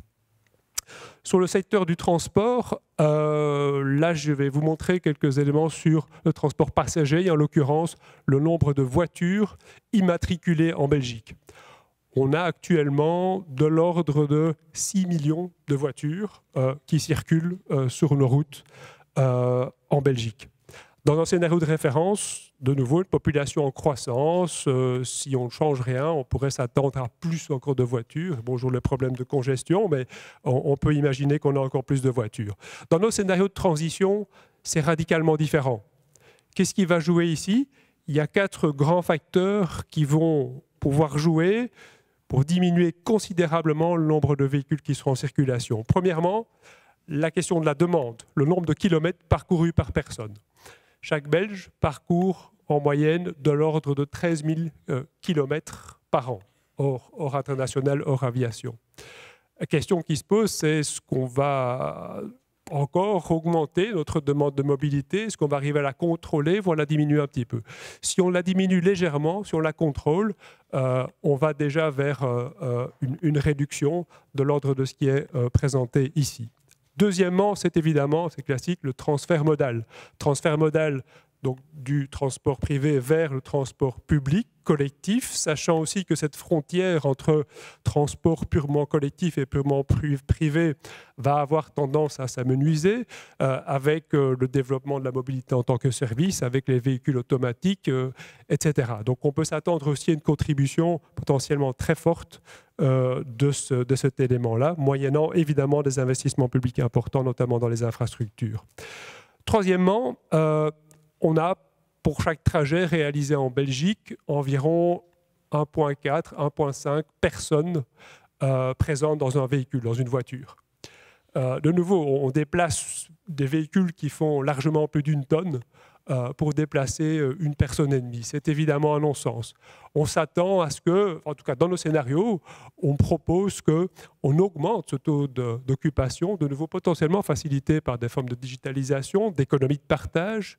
Euh, et donc, dans, dans, ce scénario-ci, dans ce que vous voyez illustré, on a augmenté le taux d'occupation à un peu plus de 2,2, ce qui n'est pas non plus une révolution. Et enfin, dernier élément, les véhicules restent à l'arrêt 90 euh, à 95% du temps, c'est aussi un, non-sens. On pourrait au moins partager sa voiture avec son voisin. Euh, on, diminuerait par deux le nombre de voitures nécessaires euh, immédiatement. Ça ne veut pas dire qu'on diminue le nombre de kilomètres, évidemment. En termes de kilomètres parcourus par les véhicules et en termes énergétiques, ça ne diminue pas, en tout cas directement, ces éléments-là. Mais ça joue sur l'usure, sur le remplacement des véhicules, sur l'usage des sols. Euh, donc la quantité de parking, etc. Donc ça a aussi des implications bien plus larges que le système énergétique. Avec des réalités donc très différentes aussi selon le scénario. Un scénario comportemental, on irait encore plus loin dans cette réduction du nombre de véhicules en circulation.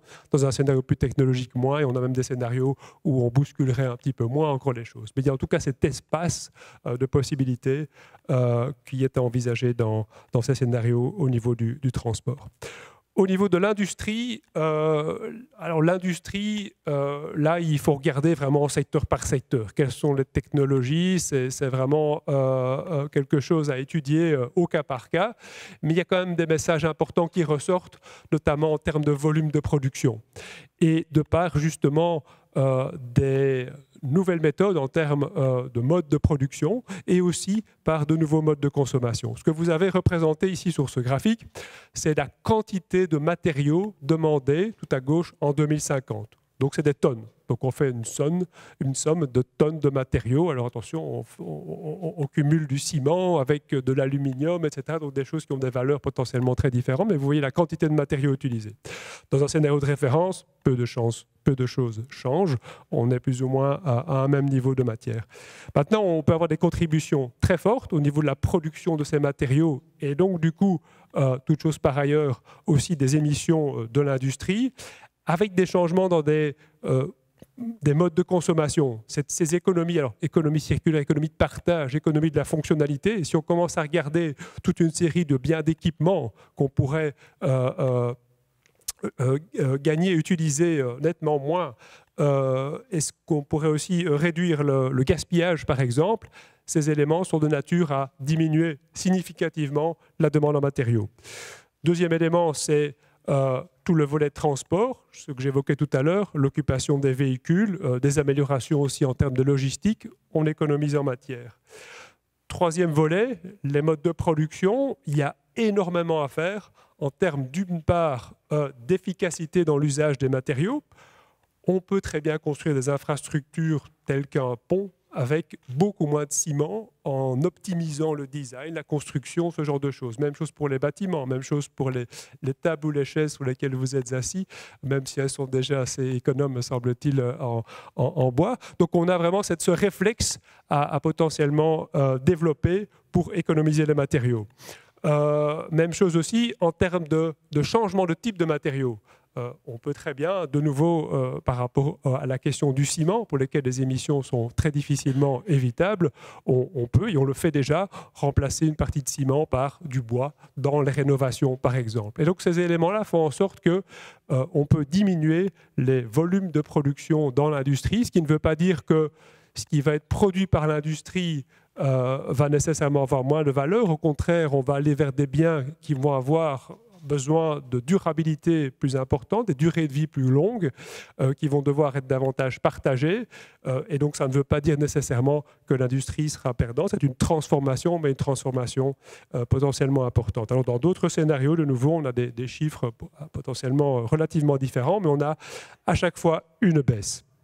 Au niveau de la production d'électricité, alors là, le message, il est, et ça c'est assez commun à tous les scénarios de décarbonation, c'est que c'est via l'électrification des secteurs de la demande, et vous l'avez vu principalement donc des bâtiments et du transport, euh, qu'on va électrifier et du coup cette électricité va être produite sur la base de sources d'énergie renouvelables, en tout, complètement ou pratiquement complètement. Ce que nous avons pu identifier ici, c'est que on a la surface disponible pour les éoliennes, pour les panneaux solaires. On n'est pas obligé de mettre des éoliennes sur, dans toutes les prairies ou dans tous les champs. Euh, on n'est pas obligé de mettre des panneaux solaires sur l'ensemble de la Belgique. Vu la sobriété, vu les économies d'énergie qui sont réalisées, euh, techniquement, ça tient la route même pour les scénarios euh, pardon, même pour les scénarios euh, euh, qui sont un peu plus élevés en termes de recours à, l'électricité. attention, il y a des enjeux, je ne veux pas les, éluder et on ne les a pas traités de manière détaillée dans le cadre de ce travail-ci. Évidemment, l'enjeu devient la gestion de l'intermittence et là, je peux vous guider vers d'autres travaux qui ont été réalisés dans ce domaine-là. Dernier élément que je voudrais évoquer avec vous, euh, très important aussi, qui est intimement lié à, toute cette, cette, question de la décarbonation, c'est le secteur de l'agriculture. Et dans l'agriculture, un élément qui va être très important pour réduire les émissions euh, de N2O et de CH4, ça va être le changement des régimes alimentaires, et notamment l'évolution vers euh, des, régimes euh, qui seront nettement plus pauvres en, protéines animales. Donc il n'y a pas 36 solutions. À un moment donné, il faut réduire la taille du cheptel, le nombre d'animaux, et cette réduction du nombre d'animaux va permettre de modifier à terme euh, aussi l'usage des sols. Ce que vous avez ici représenté, c'est les surfaces, euh, l'utilisation de la surface en Belgique. Vous avez en jaune tout ce qui concerne les cultures. Eh bien, si vous réduisez euh, significativement le nombre de bétail, vous réduisez aussi la surface qui est nécessaire aux cultures pour nourrir ce bétail que vous pouvez libérer pour y euh, développer des prairies ou de la reforestation de nouvelles forêts. Et ce sont ces éléments-là qui vont permettre de boucler l'équation euh, pour arriver à la neutralité climatique, donc arriver à des émissions négatives pour compenser les émissions résiduelles dans l'agriculture et dans euh, l'industrie. Voilà, je pense avoir distillé un peu toutes mes, conclusions au, cours de la présentation. Je vous laisse avec ceci. je vous remercie de votre attention et vous avez via l'adresse ici davantage de matériel sur ce sujet-là. Merci.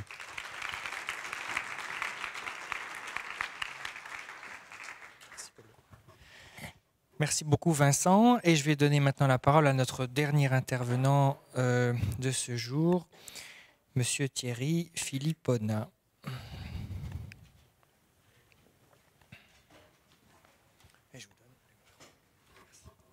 Merci beaucoup Romain.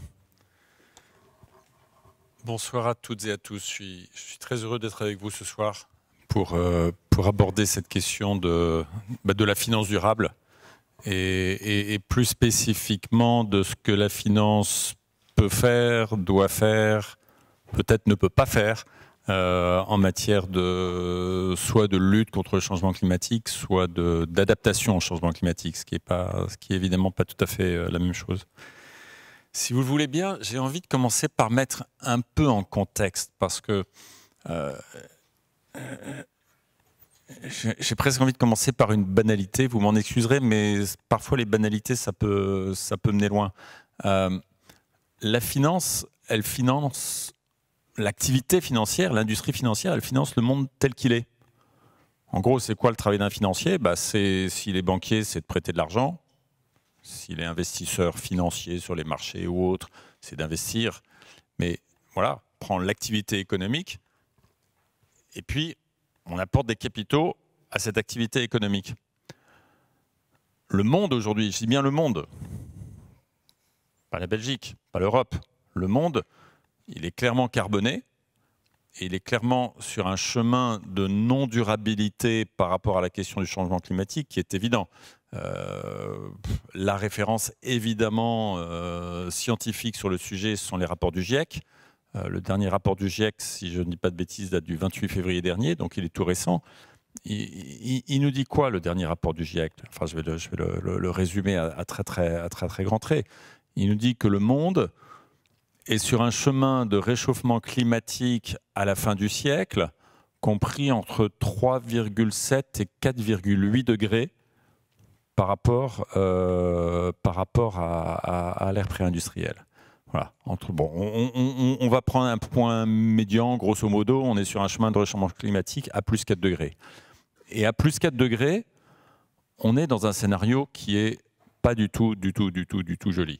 Euh, il y avait un rapport scientifique qui, qui, est, également sorti il y a trois mois, là, pour le coup, qui montre que, toujours à la fin du siècle, on a 3 milliards d'êtres humains, 3 milliards, qui vivront dans des zones qui sont inhabitables. Qu'est-ce que ça fait un être humain quand ça vit dans une zone inhabitable? Bah, Ça bouge, évidemment. On est tous pareils. Hein. Si, si, je ne peux pas vivre là où je suis, bah, je vais essayer d'aller vivre euh, là, là où je pourrais vivre. Et ça, ça veut dire, et là c'est pas moi qui parle, hein, c'est le rapport du GIEC. Vous allez vous dire, mais pourquoi il nous parle de ça C'est pas de la finance, mais on va revenir à la finance dans une seconde. Le GIEC nous dit, ça, ça veut dire des migrations massives, ça veut dire des guerres, tiens, sujet d'actualité. Ça veut dire bien sûr des inondations, ça veut dire bien sûr des sécheresses, ça veut bien sûr dire des, montées du niveau de la mer. Ça veut dire que le monde est en état de, de bouleversement total et de, euh, de perturbation de la société et de l'économie considérable. Et là, je reconnecte à la finance. Henri de Castres, qui euh, pendant longtemps a été le, directeur général de la compagnie d'assurance AXA, qui est euh, l'une des plus grandes compagnies d'assurance du, du, monde, euh, a dit de façon euh, désormais fameuse en 2015, moi, assureur, je ne sais pas assurer un monde à plus 4 degrés. Voilà.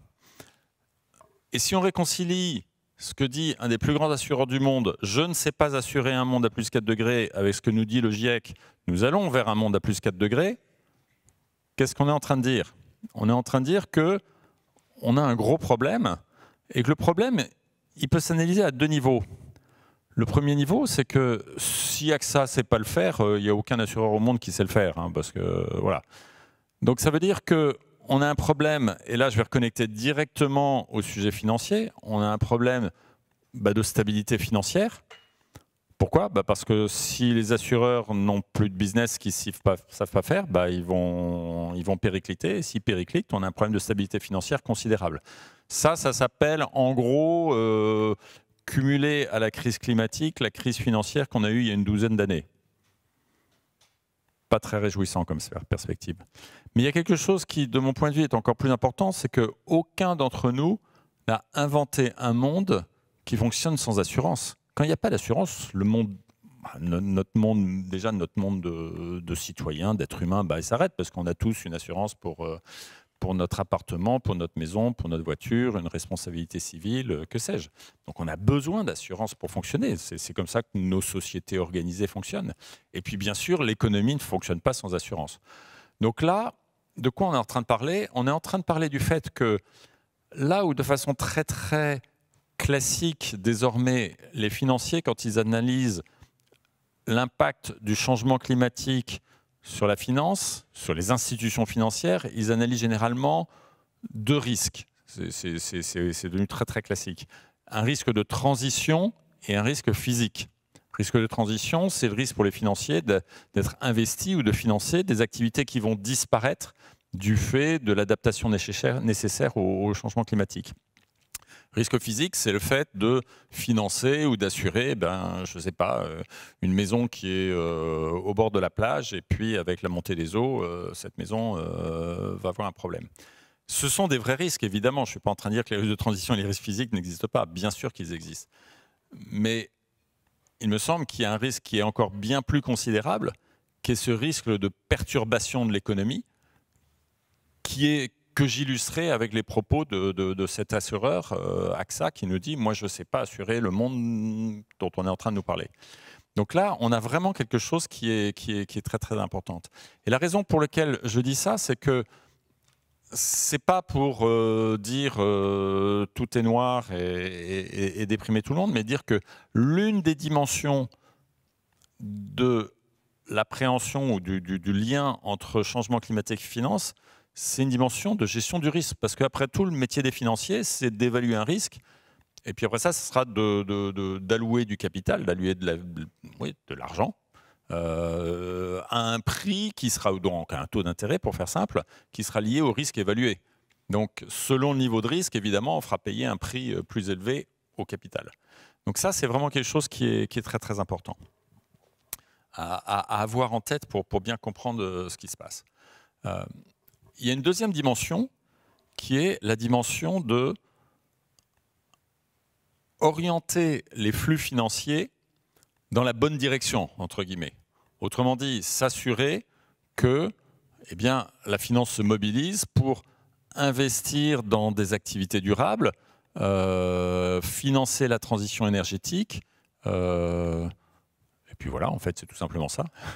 Donc, on voit qu'on a en fait deux sujets. On a un sujet de gestion du risque de l'existant et on a un sujet de essayer de changer la direction des capitaux dans une autre, voilà, enfin, emmener les capitaux dans une autre direction.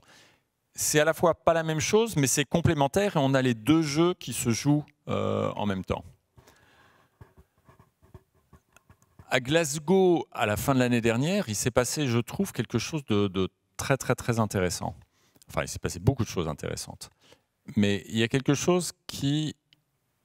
Vous allez voir que je suis un tout petit peu schizophrène, parce que à la fois, je pense qu'il faut profondément développer la finance durable. Il y a beaucoup de choses à faire, et puis il bah, faut y aller, il hein, faut la développer. Et en même temps, quand on prend un peu de recul, on voit la difficulté de l'exercice. Je ne suis pas en train de dire qu'il ne faut pas le faire. Je ne suis pas en train de dire que tout ça, c'est faire semblant. Je suis juste en train d'essayer de mettre en exergue les difficultés de l'exercice. Je reviens à ce que je voulais dire sur Glasgow. À Glasgow, on entend deux choses qui sont, je trouve, extrêmement intéressantes et de mon point de vue contradictoires. On a les grands pays je parle des grands pays producteurs d'énergie fossile, parce qu'il faut quand même revenir à la base. Le CO2, c'est à 92 ou 3 ou 4% d'origine énergie fossile, au-delà de 90% Donc ces grands pays, c'est Chine, Inde, Russie, Australie, je réfléchis à cette partie du monde, Australie, gros, producteur de charbon, euh, et bien sûr Arabie Saoudite, États-Unis et Canada. Je pense que si on prend ces pays-là, j'en ai peut-être oublié un ou deux, mais euh, on a une très très très très grosse partie euh, des, des, des, des, producteurs de charbon, pétrole et gaz, pour faire simple, du monde. Tous ces pays-là, sans aucune exception, y compris les États-Unis de M. Biden, voilà, dont on pouvait se dire qu'il était plus, plus plus à même d'appréhender le sujet climat, disent je ne prendrai aucun engagement de réduction de ma production ni de gaz, ni de pétrole, ni de charbon, même sur le charbon. Et même, même sur le charbon, et même les États-Unis disent je ne vais pas le faire parce qu'il y a des élections, les midterm elections euh, euh, à l'automne aux États-Unis, et que voilà, la dynamique électorale américaine escalée. Donc, euh, donc, donc Joe Biden dit même sur le charbon, je ne prends pas d'engagement. Donc les grands pays disent je vais continuer à produire autant de charbon, de gaz et de pétrole. Et à côté de ça, quasiment le même jour ou le lendemain, en tout cas dans la même conférence, on a quelque chose, alors en anglais c'est la Glasgow Financial Alliance, for Net Zero, GFANZ, G-Funds pour, euh, pour les intimes. Si vous allez sur le web, vous cherchez GFANZ, G-Funds, euh, qui est une alliance, pour faire simple, de quasiment tous les gestionnaires de fonds et tous les banquiers de la planète et toutes les compagnies d'assurance, qui annonce, avec euh, beaucoup de communication autour, qu'il y a maintenant 130 000 milliards de dollars mobilisés qui ont comme objectif d'atteindre un objectif de neutralité carbone en 2050. Voilà. 130 000 milliards de dollars. Là, euh, c'est-à-dire deux fois le PIB mondial, grosso modo. Il hein. faut, quand même avoir les, ordres de grandeur en tête. Donc, et donc, on a à la fois des politiques publiques qui nous disent moi je continue pareil, et les privés qui disent c'est bon, on va faire ce qu'il faut et, ça va aller dans le bon sens. Et je pense que c'est très intéressant pour nous de se poser la question de d'essayer de comprendre ce qui se passe. Parce qu'il y a une lecture, je vous donnerai ma lecture après, je prétends pas avoir raison, mais il y a une lecture qui est de dire, bon, on ne peut plus compter sur les dirigeants, parce qu'ils ne vont pas le faire. Ils ont des contraintes qui sont ce sont, on est d'accord ou pas avec eux, mais ils ne vont pas le faire. Donc on va compter sur le secteur privé. Le secteur privé va nous entraîner parce que, in fine, le secteur privé, c'est des entreprises. Donc euh, si les entreprises décident d'eux, bon, bah, euh, ça va le faire. Et il y a eu pas mal de communication on va dire, optimiste sur ce sujet en disant, bah, grâce au secteur privé, on va aller vers la neutralité carbone, ce dont on a tous besoin. Et vous voyez que je raisonne euh, mondialement, parce que évidemment, euh, il faut. Et, j'ai beaucoup, beaucoup aimé la présentation précédente, parce que le paradoxe, enfin, c'est pas un paradoxe, mais la caractéristique de la situation dans, laquelle on est, c'est qu'il faut à la fois regarder le sujet de façon globale, parce que, parce que nos problèmes d'émissions de gaz à effet de serre, ils ne s'arrêtent pas à quelques frontières que ce soit. Et en même temps, notre réalité humaine, c'est qu'il faut que chaque pays prenne le et se relève les manches et, fasse le, travail. Donc il faut relier les, deux bouts. Mais si on raisonne au niveau mondial, est-ce qu'on se dit, ah, c'est bon, le privé va nous emmener Ou est-ce qu'on se dit, on est en train de nous raconter une jolie histoire qui ne va pas tenir la route?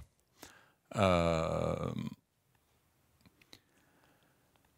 Pour répondre à cette question, je pense qu'il faut revenir à ce que veut dire le mot finance durable. Parce qu'en fait, il y a plusieurs acceptions. Et ça, c'est, je vais vous emmener un tout petit peu dans le, dans le, dans le détail, entre guillemets, de, de ce qu'on met derrière ce mot finance durable. Parce que la réalité, c'est que très très souvent, on utilise un mot, et puis on a des débats, puis les gens ne se comprennent pas, voire euh, ont des débats un peu vifs, voire euh, s'agressent un petit peu, mais en fait, ils ne sont pas en train de parler de la même chose. Qu'est-ce qu'on veut dire par finance durable Il y a plusieurs acceptions du mot finance durable. Il y a une première acception qui est de dire la finance durable, c'est la finance qui va permettre de gagner une exposition économique à des activités durables. Autrement, qu'est-ce que je suis en train de dire? Bah, Vous prenez un cours de bourse, par exemple. Vous avez une, une, action cotée en bourse. Bah, son cours, va, il va varier, il monte, il descend, etc si j'ai une exposition au sens de je gagne quand cette action euh, monte et je, perds quand cette action baisse, j'ai une exposition au cours de cette action. Mais est-ce que j'ai apporté du capital à l'entreprise qui est derrière? Pas nécessairement. Euh, on ne va pas rentrer dans toutes les techniques financières ce soir, mais, mais ce n'est pas la même chose. Et puis il y a une deuxième conception de la finance durable qui consiste à dire apporter du capital aux entreprises qui vont effectivement faire un changement. D'accord Et ces deux conceptions, c'est juste pas les mêmes. Et la finance durable qu'on est en train de développer aujourd'hui, c'est une finance durable qui, alors bien sûr, je pourrais me porter 10 000 nuances, mais en grande tendance, correspond à la première conception. C'est-à-dire qu'on se dit, si vous avez trois sous d'épargne et vos trois sous sont exposés à l'évolution d'un fonds euh, décarboné, même s'il n'y a pas un centime qui va à une entreprise qui va devoir investir, qui va investir pour, euh, pour travailler de façon décarbonée demain, c'est pas grave, ça sera durable. Et puis l'autre, conception, ça serait évidemment, tiens, tout à l'heure on a parlé de ciment. Bon, bah, fabriquer du ciment, c'est très émetteur de CO2 on a deux types de, de, cimentiers aujourd'hui. On a des cimentiers qui disent bah, je vais investir. Aujourd'hui, j'émets beaucoup de CO2 quand je fais du ciment. Mais je peux investir industriellement pour que demain, je sois capable d'émettre, pardon, de fabriquer du ciment en émettant peu de CO2. D'accord? Et pour ça, il va falloir faire des, investissements industriels, euh, la, capture de carbone, euh, une autre façon de, faire le ciment. Et puis son concurrent, que j'invente, peut dire bah, moi je m'en moque complètement. Le sujet pour la finance durable, ça va être, de mon point de vue, pour faire une différence, c'est d'allouer du capital. J'ai bien dit d'allouer du capital, d'apporter de l'argent à ce cimentier qui dit bah, moi j'ai compris le problème et même si j'ai un vrai problème, enfin un vrai, un vrai défi, on va dire, eh bien, moyennant un vrai travail industriel de recherche et d'investissement, demain je serai capable d'eux, plutôt que de simplement dire je vais bénéficier de son cours si son cours évolue dans le bon sens. Et ça, c'est vraiment quelque chose qui est, important euh, à avoir en tête. Et puis, il y a une deuxième conception euh, qui s'oppose dans la, finance durable, qui est le fait, je plonge dans, un tout petit peu de jargon du monde financier. Vous me pardonnerez pour, euh, celles et ceux d'entre vous qui, dont, dont ce n'est pas le pain quotidien il y a une conception de la finance durable qui consiste à dire je vais regarder, alors dans le jargon, on parle de la matérialité financière. Qu'est-ce que ça veut dire? Ça veut dire l'impact du changement climatique sur les profits et sur les comptes des entreprises. Matérialité financière. Quel est l'impact financier de tout ça? Et puis il y a une autre conception qui consiste à dire matérialité environnementale. Ça va dans l'autre sens. C'est l'impact de l'entreprise sur son environnement. Dans un sens, c'est l'impact de l'environnement sur l'entreprise, sur sa rentabilité, sur sa profitabilité, etc. Dans, la deuxième conception, c'est l'impact de l'entreprise sur son environnement. Alors nous, en Europe, et c'est clairement la direction que prend l'Union européenne, on s'intéresse à ce qu'on appelle la double matérialité. Mais vous, euh, verrez dans une seconde pourquoi ce, débat est important. Ce n'est pas simplement un débat de spécialistes qui se font plaisir. Euh, en Europe, on a une conception de double matérialité. C'est-à-dire qu'on dit, oui, l'impact du changement climatique sur les comptes, sur la profitabilité, bah, oui, c'est important, bien sûr. Il faut, il faut, il faut l'appréhender, il faut le comprendre, il faut gérer les risques. Mais il faut aussi regarder l'impact des entreprises ou du business en général sur l'environnement. La conception américaine du sujet est uniquement matérialité financière. C'est impact de l'environnement sur les comptes de l'entreprise. Et quand on a des débats, on a tous vu, entendu ou, lu dans la presse des débats sur le greenwashing. Quand, les gens disent bah, Vous êtes bien gentils, les financiers, mais vous, vous faites du greenwashing. Je pense qu'on a un malentendu fondamental entre les clients citoyens que nous sommes tous et puis l'objectif des financiers en tant que financiers, parce que c'est aussi des citoyens les financiers. Donc en tant que citoyens, euh, ils sont comme tout le monde, ils n'ont pas envie que le monde s'effondre. Mais en tant que financiers, leur sujet, bah, c'est la finance. Donc c'est ce que j'appelais la matérialité financière. Donc ils disent, ils vont faire de la finance durable pour gérer leurs risques ce qui est déjà euh, appréciable, on va dire. Mais quand leurs clients leur disent Moi, je trouve que vous faites du greenwashing, c'est parce que leurs clients leur disent Mais moi, je constate que dans votre portefeuille, vous, avez toujours, vous êtes toujours en train de financer des entreprises qui contribuent massivement au réchauffement climatique. Et c'est vrai, parce que pour revenir à ce que je disais au début, eh bien, il y a cette, évidence que les financiers financent euh, bah, le monde tel qu'il est. Euh, les plus grandes banques du monde, toutes, hein, quels que soient les pays ou les plus grands financiers, sont à la fois très très vertes, parce qu'elles font tous de la finance verte, et très très, hmm, je ne sais pas s'il faut dire brune, mais on, se comprend, en tout cas, euh, finançant des, activités fossiles. toutes. Vous prenez les, plus grands noms de la finance mondiale, elles sont sur les deux. Donc, évidemment, elles mettent en avant le côté, regardez, je suis un champion de la finance verte, ce qui est, allez, on va être généreux, souvent vrai, mais ce qu'elles disent pas, c'est que dans le bureau à côté de, des gens qui font de la finance verte, il y a des gens qui font de la finance euh, fossile. Euh, et ça, c'est dans la nature des choses. Il y a 35 banques au monde qui sont euh, particulièrement actives en financement de l'industrie pétrolière et gazière. Dans les cinq années qui ont suivi les accords de Paris, la COP 21 en 2000, euh, que je ne dis pas de bêtises, en 2015, euh, elles ont fourni à, l'industrie pétrolière et gazière 4 000 milliards de dollars de nouveaux financements. Voilà. et ces banques-là, elles continuent à le faire. Et c'est celle qu'on retrouve dans la la, G-Funds dont je parlais tout à l'heure, qui nous dit qu'elle va faire du, net zéro demain. Donc, encore une fois, je ne suis pas en train de dire qu'il faut jeter le bébé avec l'eau du bain. C'est trop facile parce que sinon, on, reste tous chez soi et puis on fait rien. Mais il faut savoir analyser euh, pour, euh, pour, pour comprendre. Alors, face à ça, quelles sont les actions qui sont euh, en train d'être prises? Au niveau européen, il y a un énorme agenda finance durable.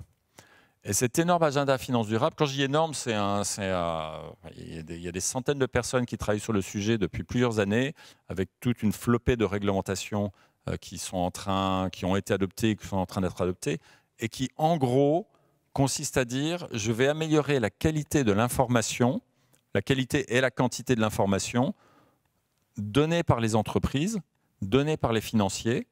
Alors il y, a, il y, a, une myriade de détails, mais ça revient fondamentalement à ça, améliorer la qualité et la, quantité de l'information, en partant du principe qu'une fois que l'information sera à disposition, les flux iront dans la bonne direction.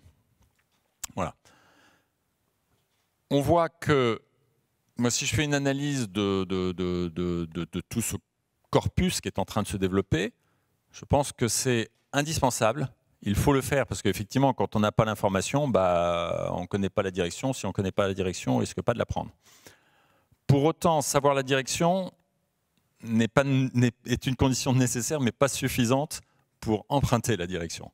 Donc il y a beaucoup d'autres conditions à créer pour, euh, pour que effectivement la finance aille dans cette direction-là. Et puis le deuxième bloc de la deuxième approche de, cette question de, de, la finance durable, ça va être de savoir comment est-ce qu'on va faire pour que graduellement, eh bien, euh, les flux financiers n'aillent plus vers, euh, vers les, les, les, énergies, les énergies fossiles.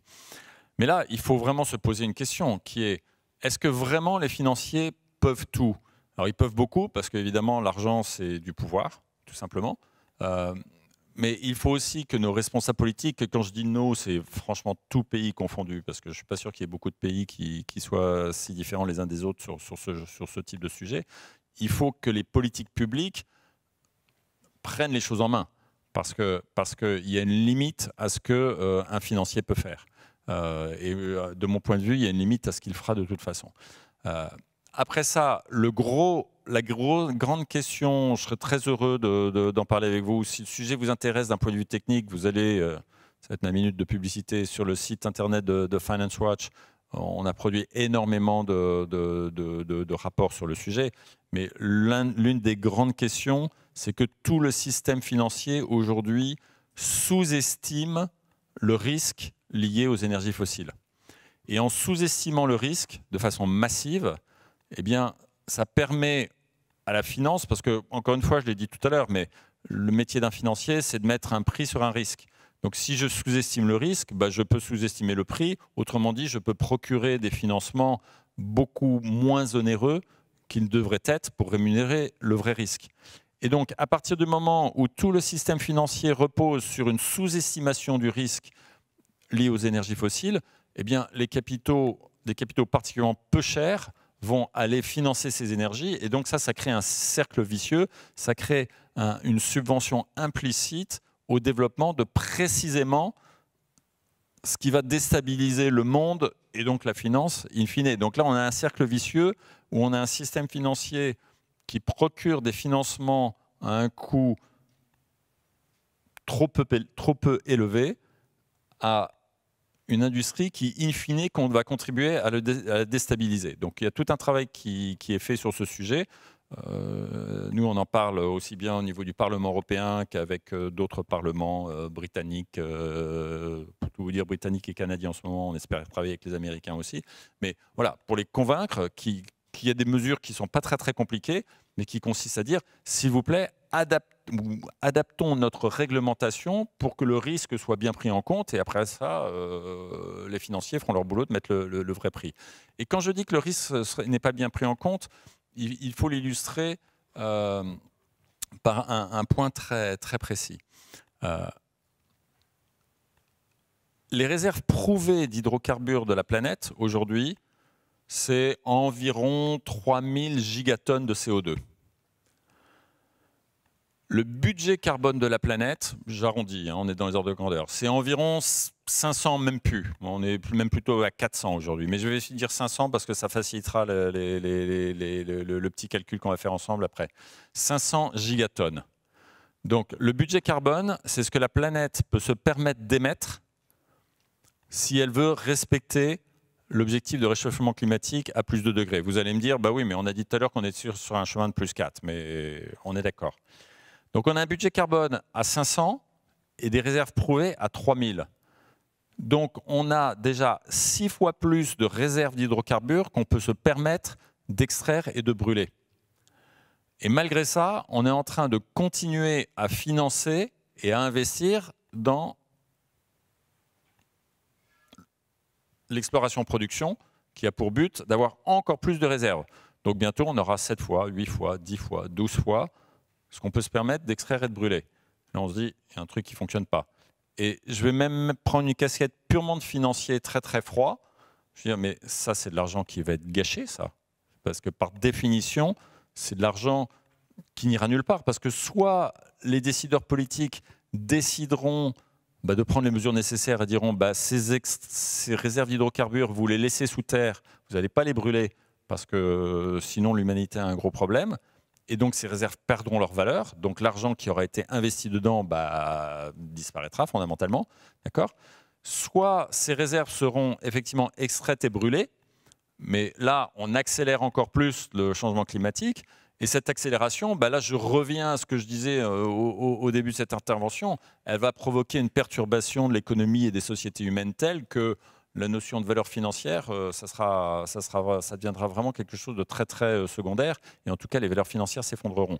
C'est toute la thématique des. Alors en français, on dit actifs échoués, mais c'est un concept qui a été développé en anglais de stranded assets, qui a été développé par, euh, par une organisation qui fait un boulot, de mon point de vue, remarquable, qui s'appelle Carbon Tracker Initiative, CTI en anglais, et qui, est une, qui est un narratif qui est en fait extrêmement puissant, qui date d'il y a une douzaine d'années maintenant et qui n'a été contesté, à ma connaissance, euh, qui n'est plus contesté ni par les universitaires, ni par les chercheurs, ni par les banquiers centraux, en disant on a quelque chose qui est très très fort là. Et vous voyez très très bien qu'on le relie au sujet financier, parce que, comme je vous disais, les, les masses d'investissement dans les, hydrocarbures, et y compris euh, l'exploration pour en avoir plus, euh, continue.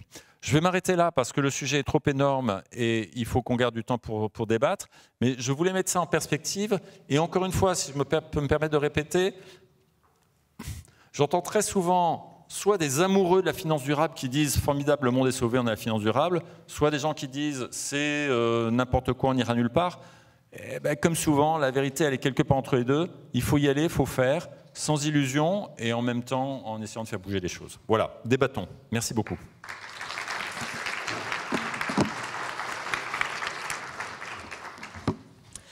Un très grand merci pour euh, ces présentations vraiment fascinantes et qui, je trouvais, étaient très complémentaires.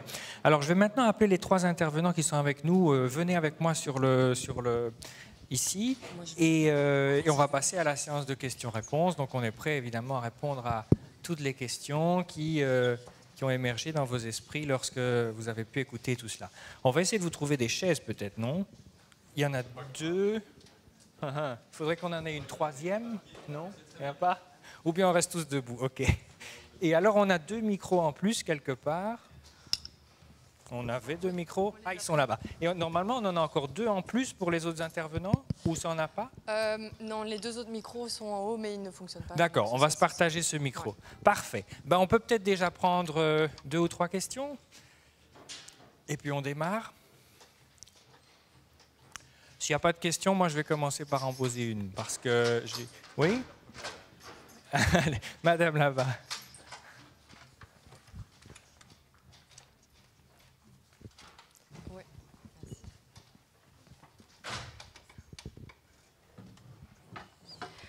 Euh, oui, bonjour. Merci en tout cas pour euh, vos interventions euh, sur différents domaines, je crois, géopolitique, financier, programme belge, super. on ira voir ce site.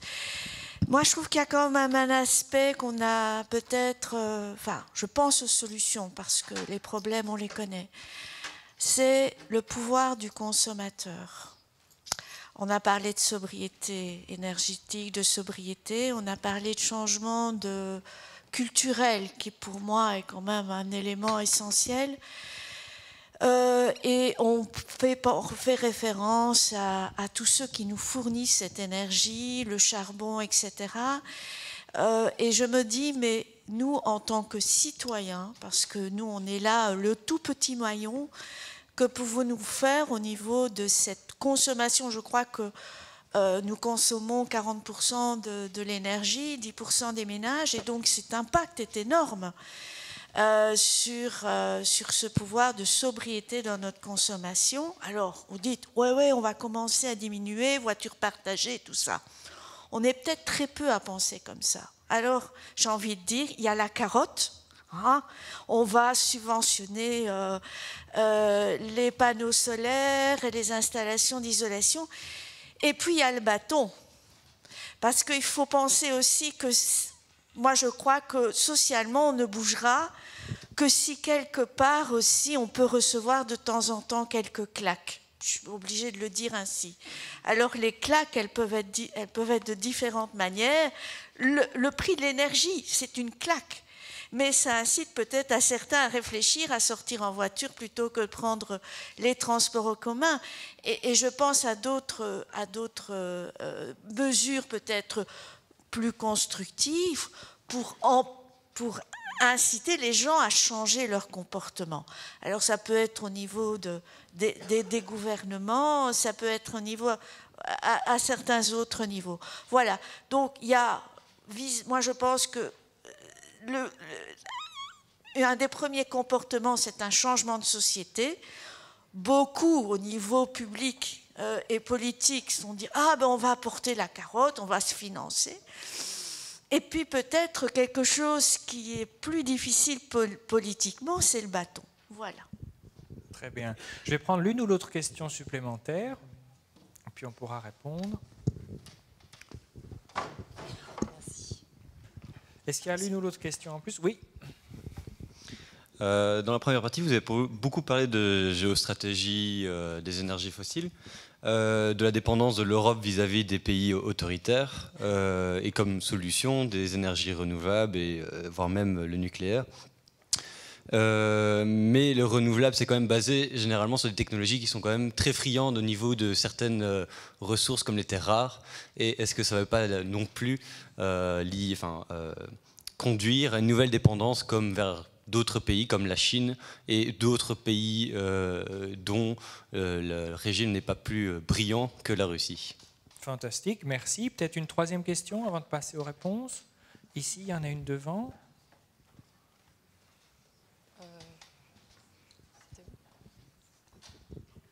Et que pensez-vous de rationner l'énergie plutôt que de la faire payer plus cher? Parfait. Je propose qu'on commence peut-être par la deuxième question, parce que je crois qu'elle s'adresse très clairement à François.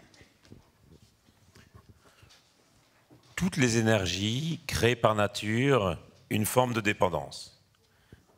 Et donc il n'y a aucune énergie. C'est pour ça que je pense que le concept d'indépendance énergétique en soi n'a pas beaucoup de sens, parce que dès l'instant où vous utilisez une énergie, vous êtes dépendant de certains matériaux. Et je pense que l'enjeu, consiste surtout en termes de politique énergétique à choisir de qui on veut être dépendant. Euh, et effectivement, bien sûr, la euh, production de batteries électriques ou de panneaux solaires requiert l'extraction de certains minerais comme des terres rares. Euh, mais soyons clairs, des terres rares, il y en a aussi en Europe. et, et les terres rares sont en fait plutôt abondantes, contrairement à ce que leur nom laisse penser. Simplement, ça nous arrange bien pour le moment de laisser la Chine se charger des conditions d'extraction qui sont assez abominables pour l'environnement et de les fournir à bas prix. Et c'est aussi un peu par paresse qu'effectivement, nous sommes dans une sorte de dépendance vis-à-vis de la Chine pour cela, de la même manière que nous sommes dans une dépendance vis-à-vis -vis de la Russie pour le pétrole ou pour le gaz. D'où, je pense, la nécessité d'aborder cette question dans le cadre d'une stratégie européenne en matière énergétique, parce que je pense que l'intérêt précisément de l'Union européenne, c'est de pouvoir choisir de qui l'on dépend. Et j'avoue qu'en tant que citoyen européen, je me sens davantage rassuré de dépendre des autres pays européens plutôt que de régimes autoritaires. Mais il faut être très clair, et c'est l'intérêt aussi de, la question sur la sobriété énergétique. C'est-à-dire que tant que notre demande d'énergie continuera à augmenter, on ne s'en sortira pas. Et donc il y a un impératif urgent de sobriété énergétique. Alors pour ça, est-ce qu'il faut passer par du rationnement? Peut-être, c'est une idée. Le problème, c'est que je ne pense pas que vous puissiez réunir une majorité démocratique pour ça en l'espace de 10 ou 12 ans. Et donc, soit il faut aller vers des systèmes de restriction des libertés via des mesures autoritaires, soit je pense qu'il faut faire son deuil du fait que l'on puisse rassembler une majorité démocratique autour de certaines solutions personnellement, j'ai fait mon deuil de l'idée qu'on pourra rassembler une majorité démocratique autour de ce type de solution. Idem pour votre question, madame, comment faire en tant que citoyen? En Belgique, une mesure très très simple pour faire baisser d'un coup drastiquement les émissions de gaz à effet de serre, c'est de supprimer les voitures de société. 6 voitures sur 10 en Belgique, ce sont des voitures de société. C'est un formidable incitant à rouler plus vite et à prendre la voiture pour tout, puisque les gens ne payent pas leur essence. Et parce que cette essence, elle est subsidiée par vos impôts dans des niches fiscales. Aujourd'hui, il n'y a pas de majorité démocratique pour subsidier les voitures de société. D'où je pense, et, ça, ça m'attriste de le dire, mais effectivement, je pense que nous devons nous préparer de toute urgence à vivre dans un monde à 3 degrés, 3 degrés et demi, parce qu'il n'y aura jamais de majorité démocratique pour supprimer ce type d'avantage. Et croyez bien que j'en suis le premier désolé, de même que je suis désolé de devoir partir parce que je dois prendre le dernier train pour Paris. Merci beaucoup. Merci beaucoup.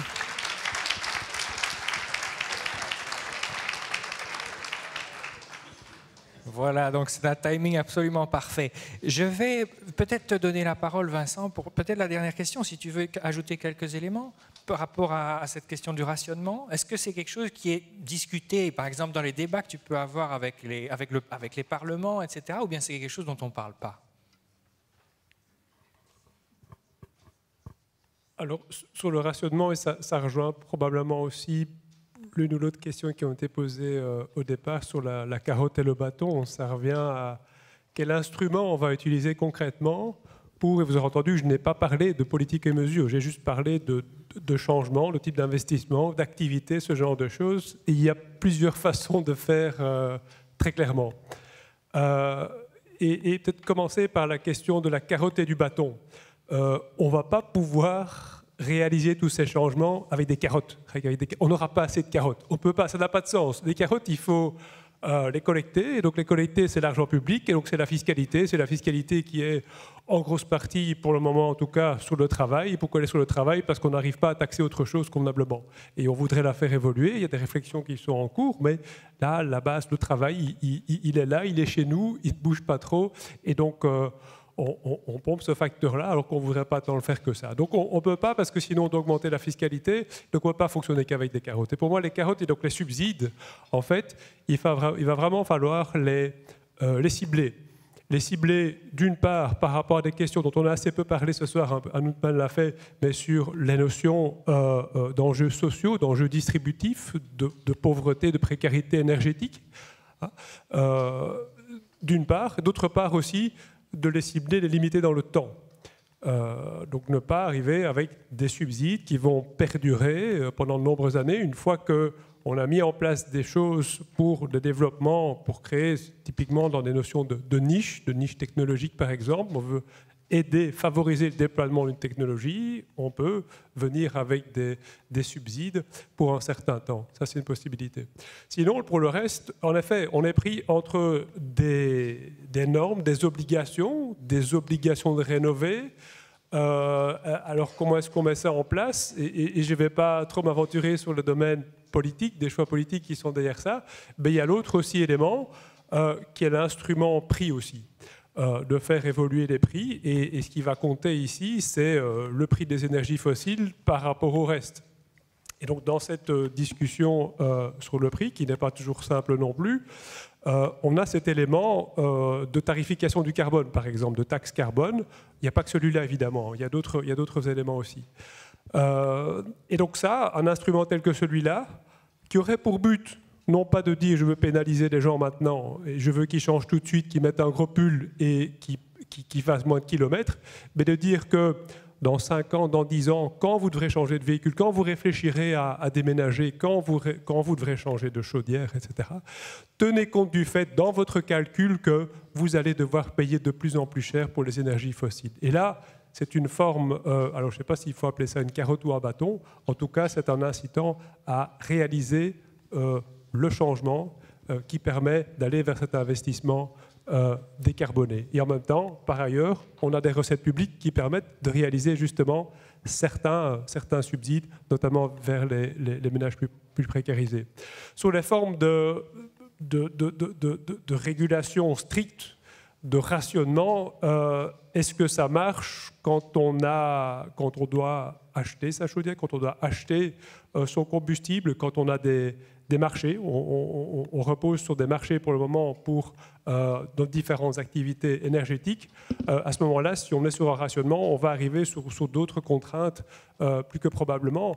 Et donc, on ne va pas réussir, à mon sens, à, boucler, le système et à véritablement sortir en, répartissant de manière finalement utile ces énergies euh, sur les, différents, alors pas seulement la population, vous l'avez vu, on a aussi les grandes industries, mais finalement, euh, on va retrouver via nos habitudes de consommation, c'était évoqué aussi dans la première intervention, dans ce qu'on peut faire, via nos habitudes de, consommation, on va retrouver tous ces impacts qu'on va créer au niveau des entreprises dans, nos choix de consommation.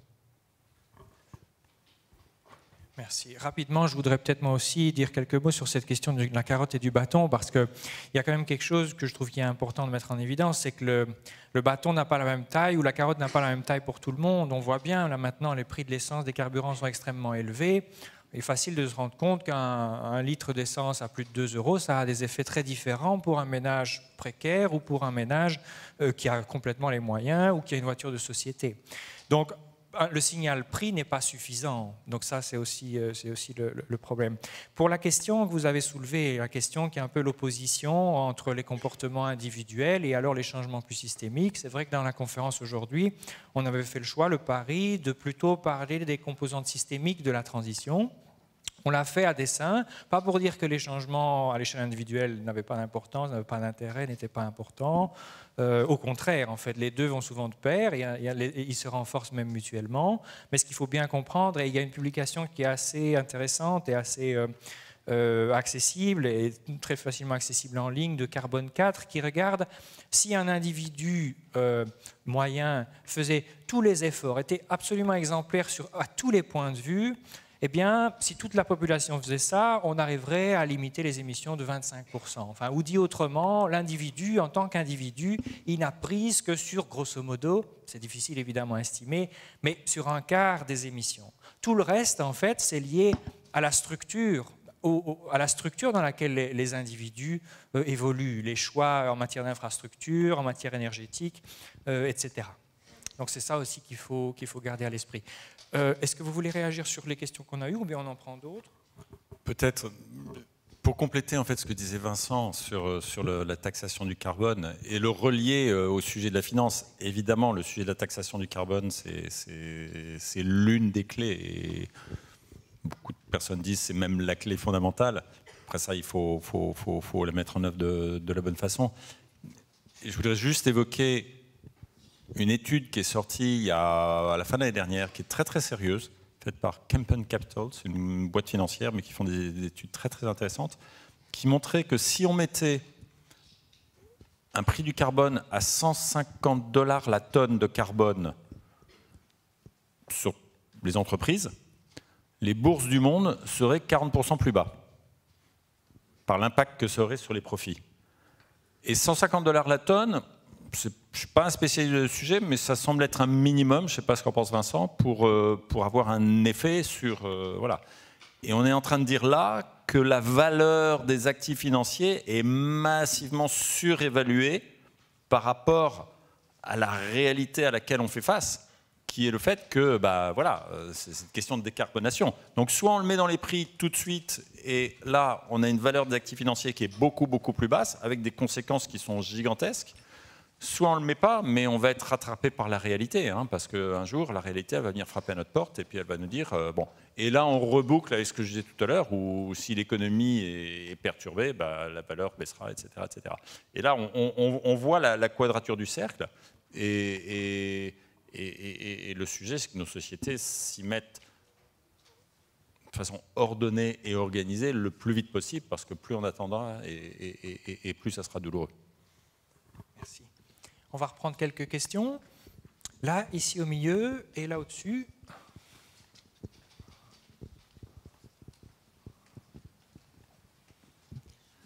Merci, mais je voulais justement rebondir sur ce que vous venez de dire, Monsieur Philippona. Que pensez-vous de la proposition de, de Gaël Giraud qui est de, faire jouer à la Banque Centrale Européenne un rôle justement de rachat de tous ces actifs euh, pourris, je dirais, pour permettre aux, banques de, rejouer un rôle plus positif. Mais tant qu'elles auront, elles sont coincées dans ces actifs euh, financiers euh, investis dans l'énergie fossile, ben, elles ne pourront pas jouer un rôle très constructif ou, ou pas suffisamment vite. C'est ma première question. La deuxième, c'est celle des crypto-monnaies quel, poids est-ce que ça occupe, cette évolution-là? On sait que, que ça crée c'est une source de pollution extraordinaire. Euh, le système financier semble s'y intéresser, en tout cas les bourses à Wall Street ou autres. Quel poids est-ce que ça a dans, dans le système financier? Euh, Voilà, c'est la question que j'aimerais poser. J'en avais plein d'autres, mais je vais me limiter à celle-là. Fantastique, merci beaucoup. Oui. Bonjour, moi ma question va plutôt concerner donc le programme belge présenté par Vincent Van Steenberg. Et on a parlé de, coopération nécessaire pour euh, arriver à des, résultats tangibles. Euh, ici, je voudrais parler un peu de la politique de mobilité en Belgique. Euh, j'habite en, périphérie de Bruxelles, pas très loin, à Woluwe-Saint-Étienne.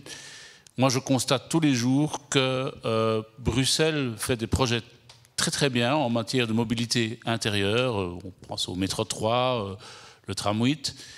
Euh, la Flandre fait un programme très ambitieux autour de Bruxelles avec le Werk aan Ring.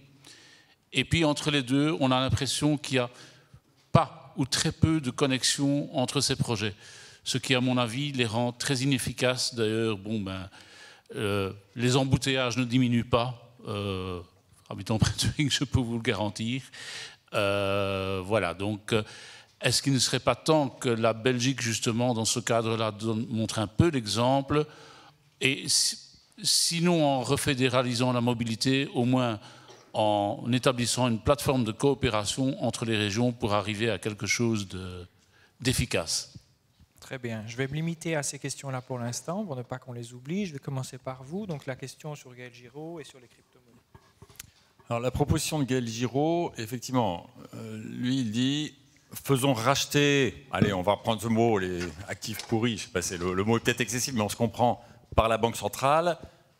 Ça permettra de nettoyer le bilan des banques commerciales, et après ça, tout va bien.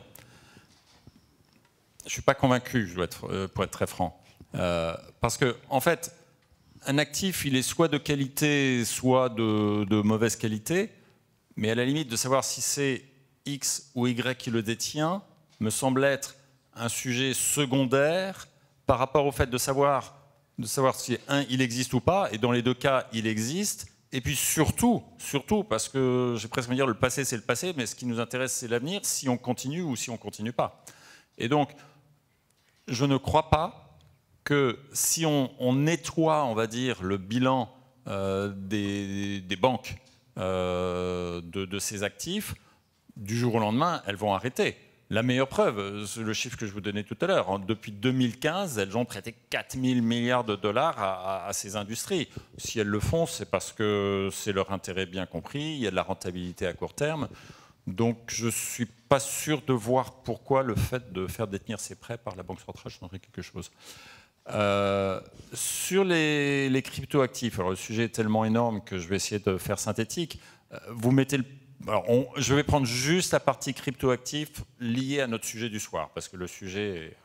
les cryptoactifs aujourd'hui, j'ai vu des chiffres récemment, ça représenterait, c'est très dur à évaluer, mais environ 2000 milliards de dollars dans le monde. Ça commence à faire beaucoup, beaucoup, 2000 milliards. Hein. C'est beaucoup moins gros que le système financier lui-même, mais c'est pas négligeable. Le mining du Bitcoin, si ça vous parle, c'est-à-dire la façon de générer du Bitcoin avec une technique qui s'appelle le proof of work, consomme plus d'électricité annuellement qu'un pays comme l'Irlande. Pour une activité qui, et là ça n'engage que moi, dans le meilleur des cas, n'a aucune utilité sociale, euh, déjà pris de grosses attaques sur les réseaux sociaux pour avoir dit des choses pareilles, mais j'assume totalement. et qui, dans un nombre de cas très très élevé, euh, cache euh, le financement euh, des pires activités que les êtres humains sont capables de réaliser. Parce que, évidemment, quand on a une, technique qui permet d'échanger des flux financiers en tout anonymat et en se cachant, bah, devinez quoi, l'argent sale, voire l'argent très très sale de la planète, va directement là. Et c'est un fait. Hein. Je ne suis pas en train de dire que tout échange de, cryptoactifs est nécessairement sale. Je suis en train de dire que l'argent sale, enfin les activités sales, adorent aller là. Vous m'aurez compris, euh, voilà. Il y a eu un débat, je vais être bref dans ma réponse, pardon, je suis trop long. Euh, il y a eu un débat extrêmement intéressant exactement sur ce sujet-là au Parlement européen, donc à 3 km d'ici, euh, à Bruxelles, la semaine dernière, où les députés européens débattaient du savoir, du fait de savoir, il y a une réglementation des cryptoactifs dans une réglementation qui s'appelle MICA, Market in Crypto euh, Assets. Pardon. Euh, si le Parlement européen allait interdire cette technique du proof of work qui est tellement consommatrice d'électricité que c'en est ridicule. On est en train d'essayer de, d'économiser de l'énergie partout et on, laisse une activité, euh, voilà, sachant qu'il y a d'autres façons d'arriver au même résultat, quand bien même on va voir. Le, les opposants enfin, les personnes, les députés européens qui voulaient imposer cette interdiction ont perdu. Euh, voilà. Euh, en gros, la, majorité a dit ah non, la liberté d'entreprendre, l'innovation, nous en Europe, voilà. Euh, je ne vous dirai pas les, je suis strictement partisan, mais enfin bon, je vois très très bien les groupes politiques qui, qui se sont opposés à ça. Mais voilà. Donc, je constate qu'au Parlement européen, il y a une majorité qui dit bah oui, c'est très très bien, des dépenser d'électricité euh, à ce niveau-là pour cette activité-là. Euh, quand bien même on serait amoureux du monde des cryptoactifs et qu'on ne serait pas d'accord avec ce que j'ai dit en deuxième partie, on a quand même un vrai problème de dépenser tant d'énergie pour, pour, pour cette activité. Donc oui, c'est une vraie solution. Je ne suis pas archi optimiste, parce que quand je vois, et on est en Europe, qui est probablement la partie du monde où on est le plus conscient de la chose et où les choses essayent d'avancer, et même là, on n'y arrive pas. Peut-être deux éléments avant de te donner, le micro, Vincent. Par rapport à ce minage de Bitcoin, avons vu des choses tout à fait impressionnantes, euh, des impacts que ça peut avoir en fait, sur les systèmes électriques dans certains pays pauvres, où en fait, dans beaucoup de pays pauvres, l'énergie et l'électricité est très subsidiée. Et donc, en fait, il est très rentable de miner le Bitcoin dans ces pays-là. Et ça a mené dans plusieurs régions euh, à vraiment des blackouts d'électricité pour ces populations et toutes sortes de difficultés, en fait. Un autre élément sur la question des, voitures, et Vincent va, le dire, c'est vraiment le secteur, enfin un des deux gros secteurs en Belgique euh, dont les émissions euh, sont restées quasi stables ou en tout cas ou même en augmentation au cours des 20 dernières années. Donc c'est euh, la question du transport routier, en particulier des véhicules légers, des véhicules individuels. C'est un des grands points de blocage en matière de décarbonation en Belgique. Et les chiffres sont absolument hallucinants. Depuis l'an 2000, on a 1,3 million de voitures en plus en circulation en Belgique. On a des voitures qui parcourent plus de kilomètres, qui sont plus lourds, qui sont aussi plus puissants. Je voyais les chiffres, c'était euh, euh, la puissance moyenne d'un véhicule a augmenté de 38% en, 20 ans.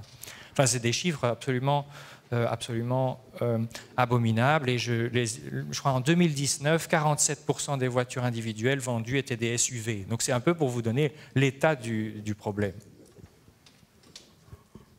Merci. alors, je pense que la, question que vous posiez est même beaucoup plus générale, hein, euh, et, que là, vous posez vraiment la question de la gouvernance. Euh, je dirais, on, est venu sur des, questions, des obstacles euh, à la transition qui, se voient partout. C'est au niveau mondial, c'est au niveau européen, c'est chez nous, c'est des difficultés qu'on voit à tous les étages, parce que c'est parce que complexe, parce que c'est large, etc.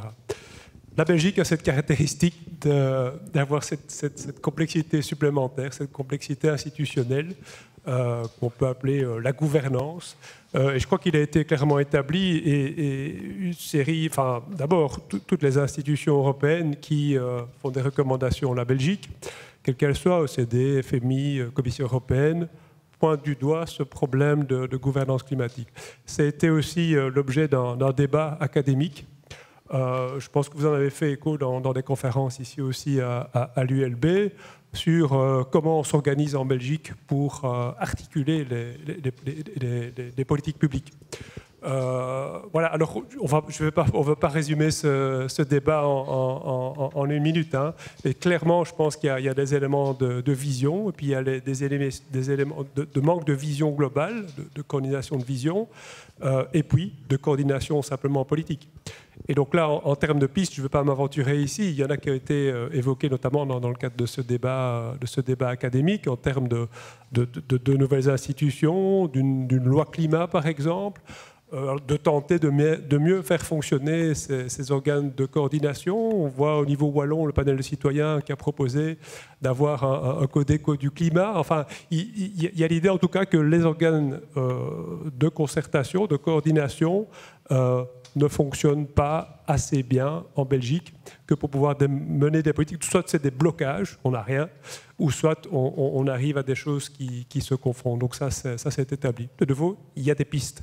Et puis après, j'espère qu'on va aussi, j'ai trouvé qu'on est assez négatif en fait dans, nos interventions. J'espère aussi après euh, avoir l'occasion de, souligner quelques aspects aussi positifs de la transition et, des chances que ça, que, ça fournit, mais, peut-être après un, prochain tour de, questions. C'est un bon point, il faut être positif.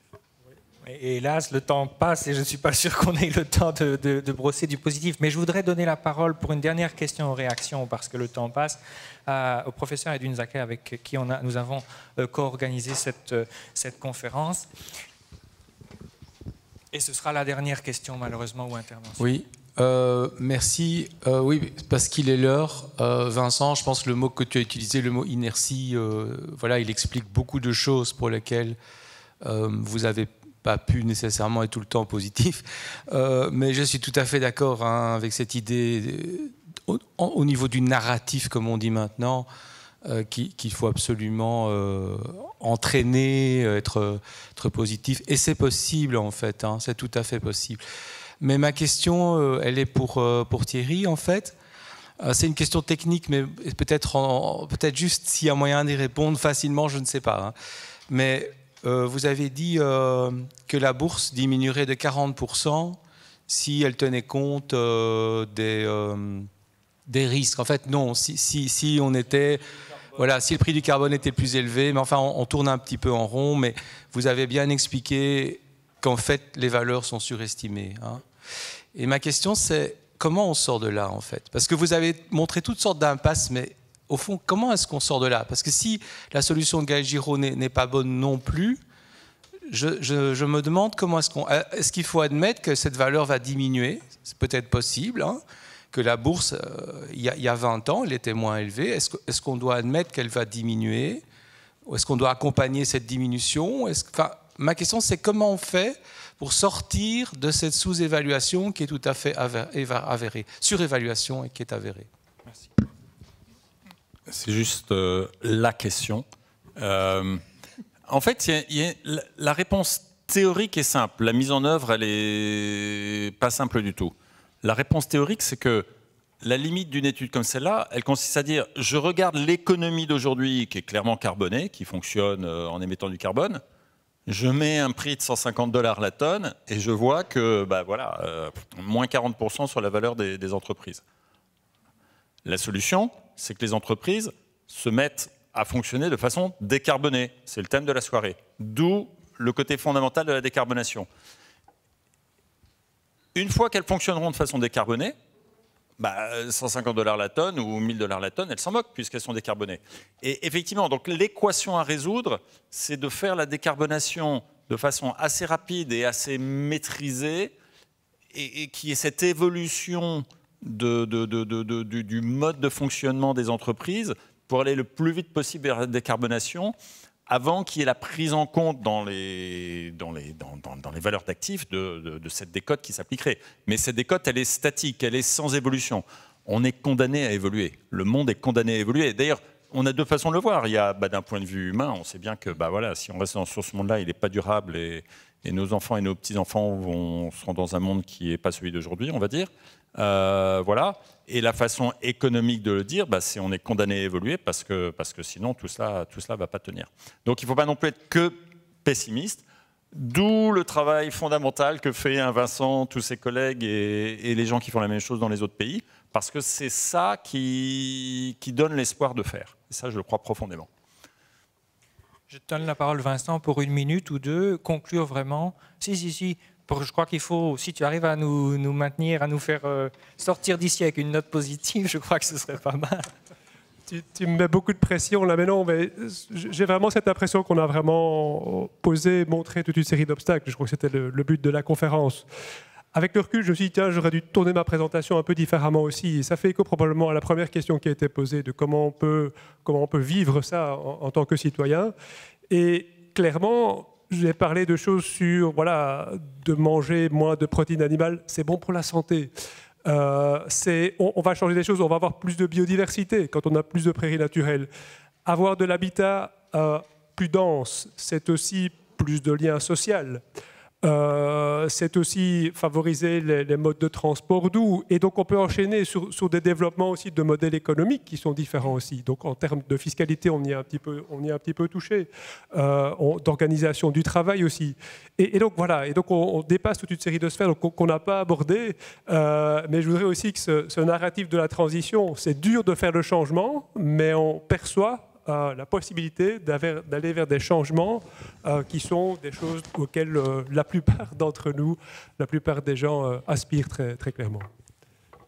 Très clairement, je crois, oui, c'est vrai qu'on a peut-être, moi dans ma tête, je pars un peu avec le préalable que cette transition, elle est indispensable, elle est nécessaire et en, même temps désirable et souhaitable. Et c'est vrai que ça, on l'a peut-être pas suffisamment mis en évidence, en fait, en se focalisant beaucoup sur les obstacles. Mais en tous les cas, euh, j'espère que vous avez retiré beaucoup de choses de, cette conférence et je voudrais remercier encore une fois les intervenants et, euh, les organisateurs et toutes les personnes qui ont contribué à, rendre cette conférence euh, possible. Et puis je, vous souhaite une, très bonne soirée et j'espère vous revoir très bientôt.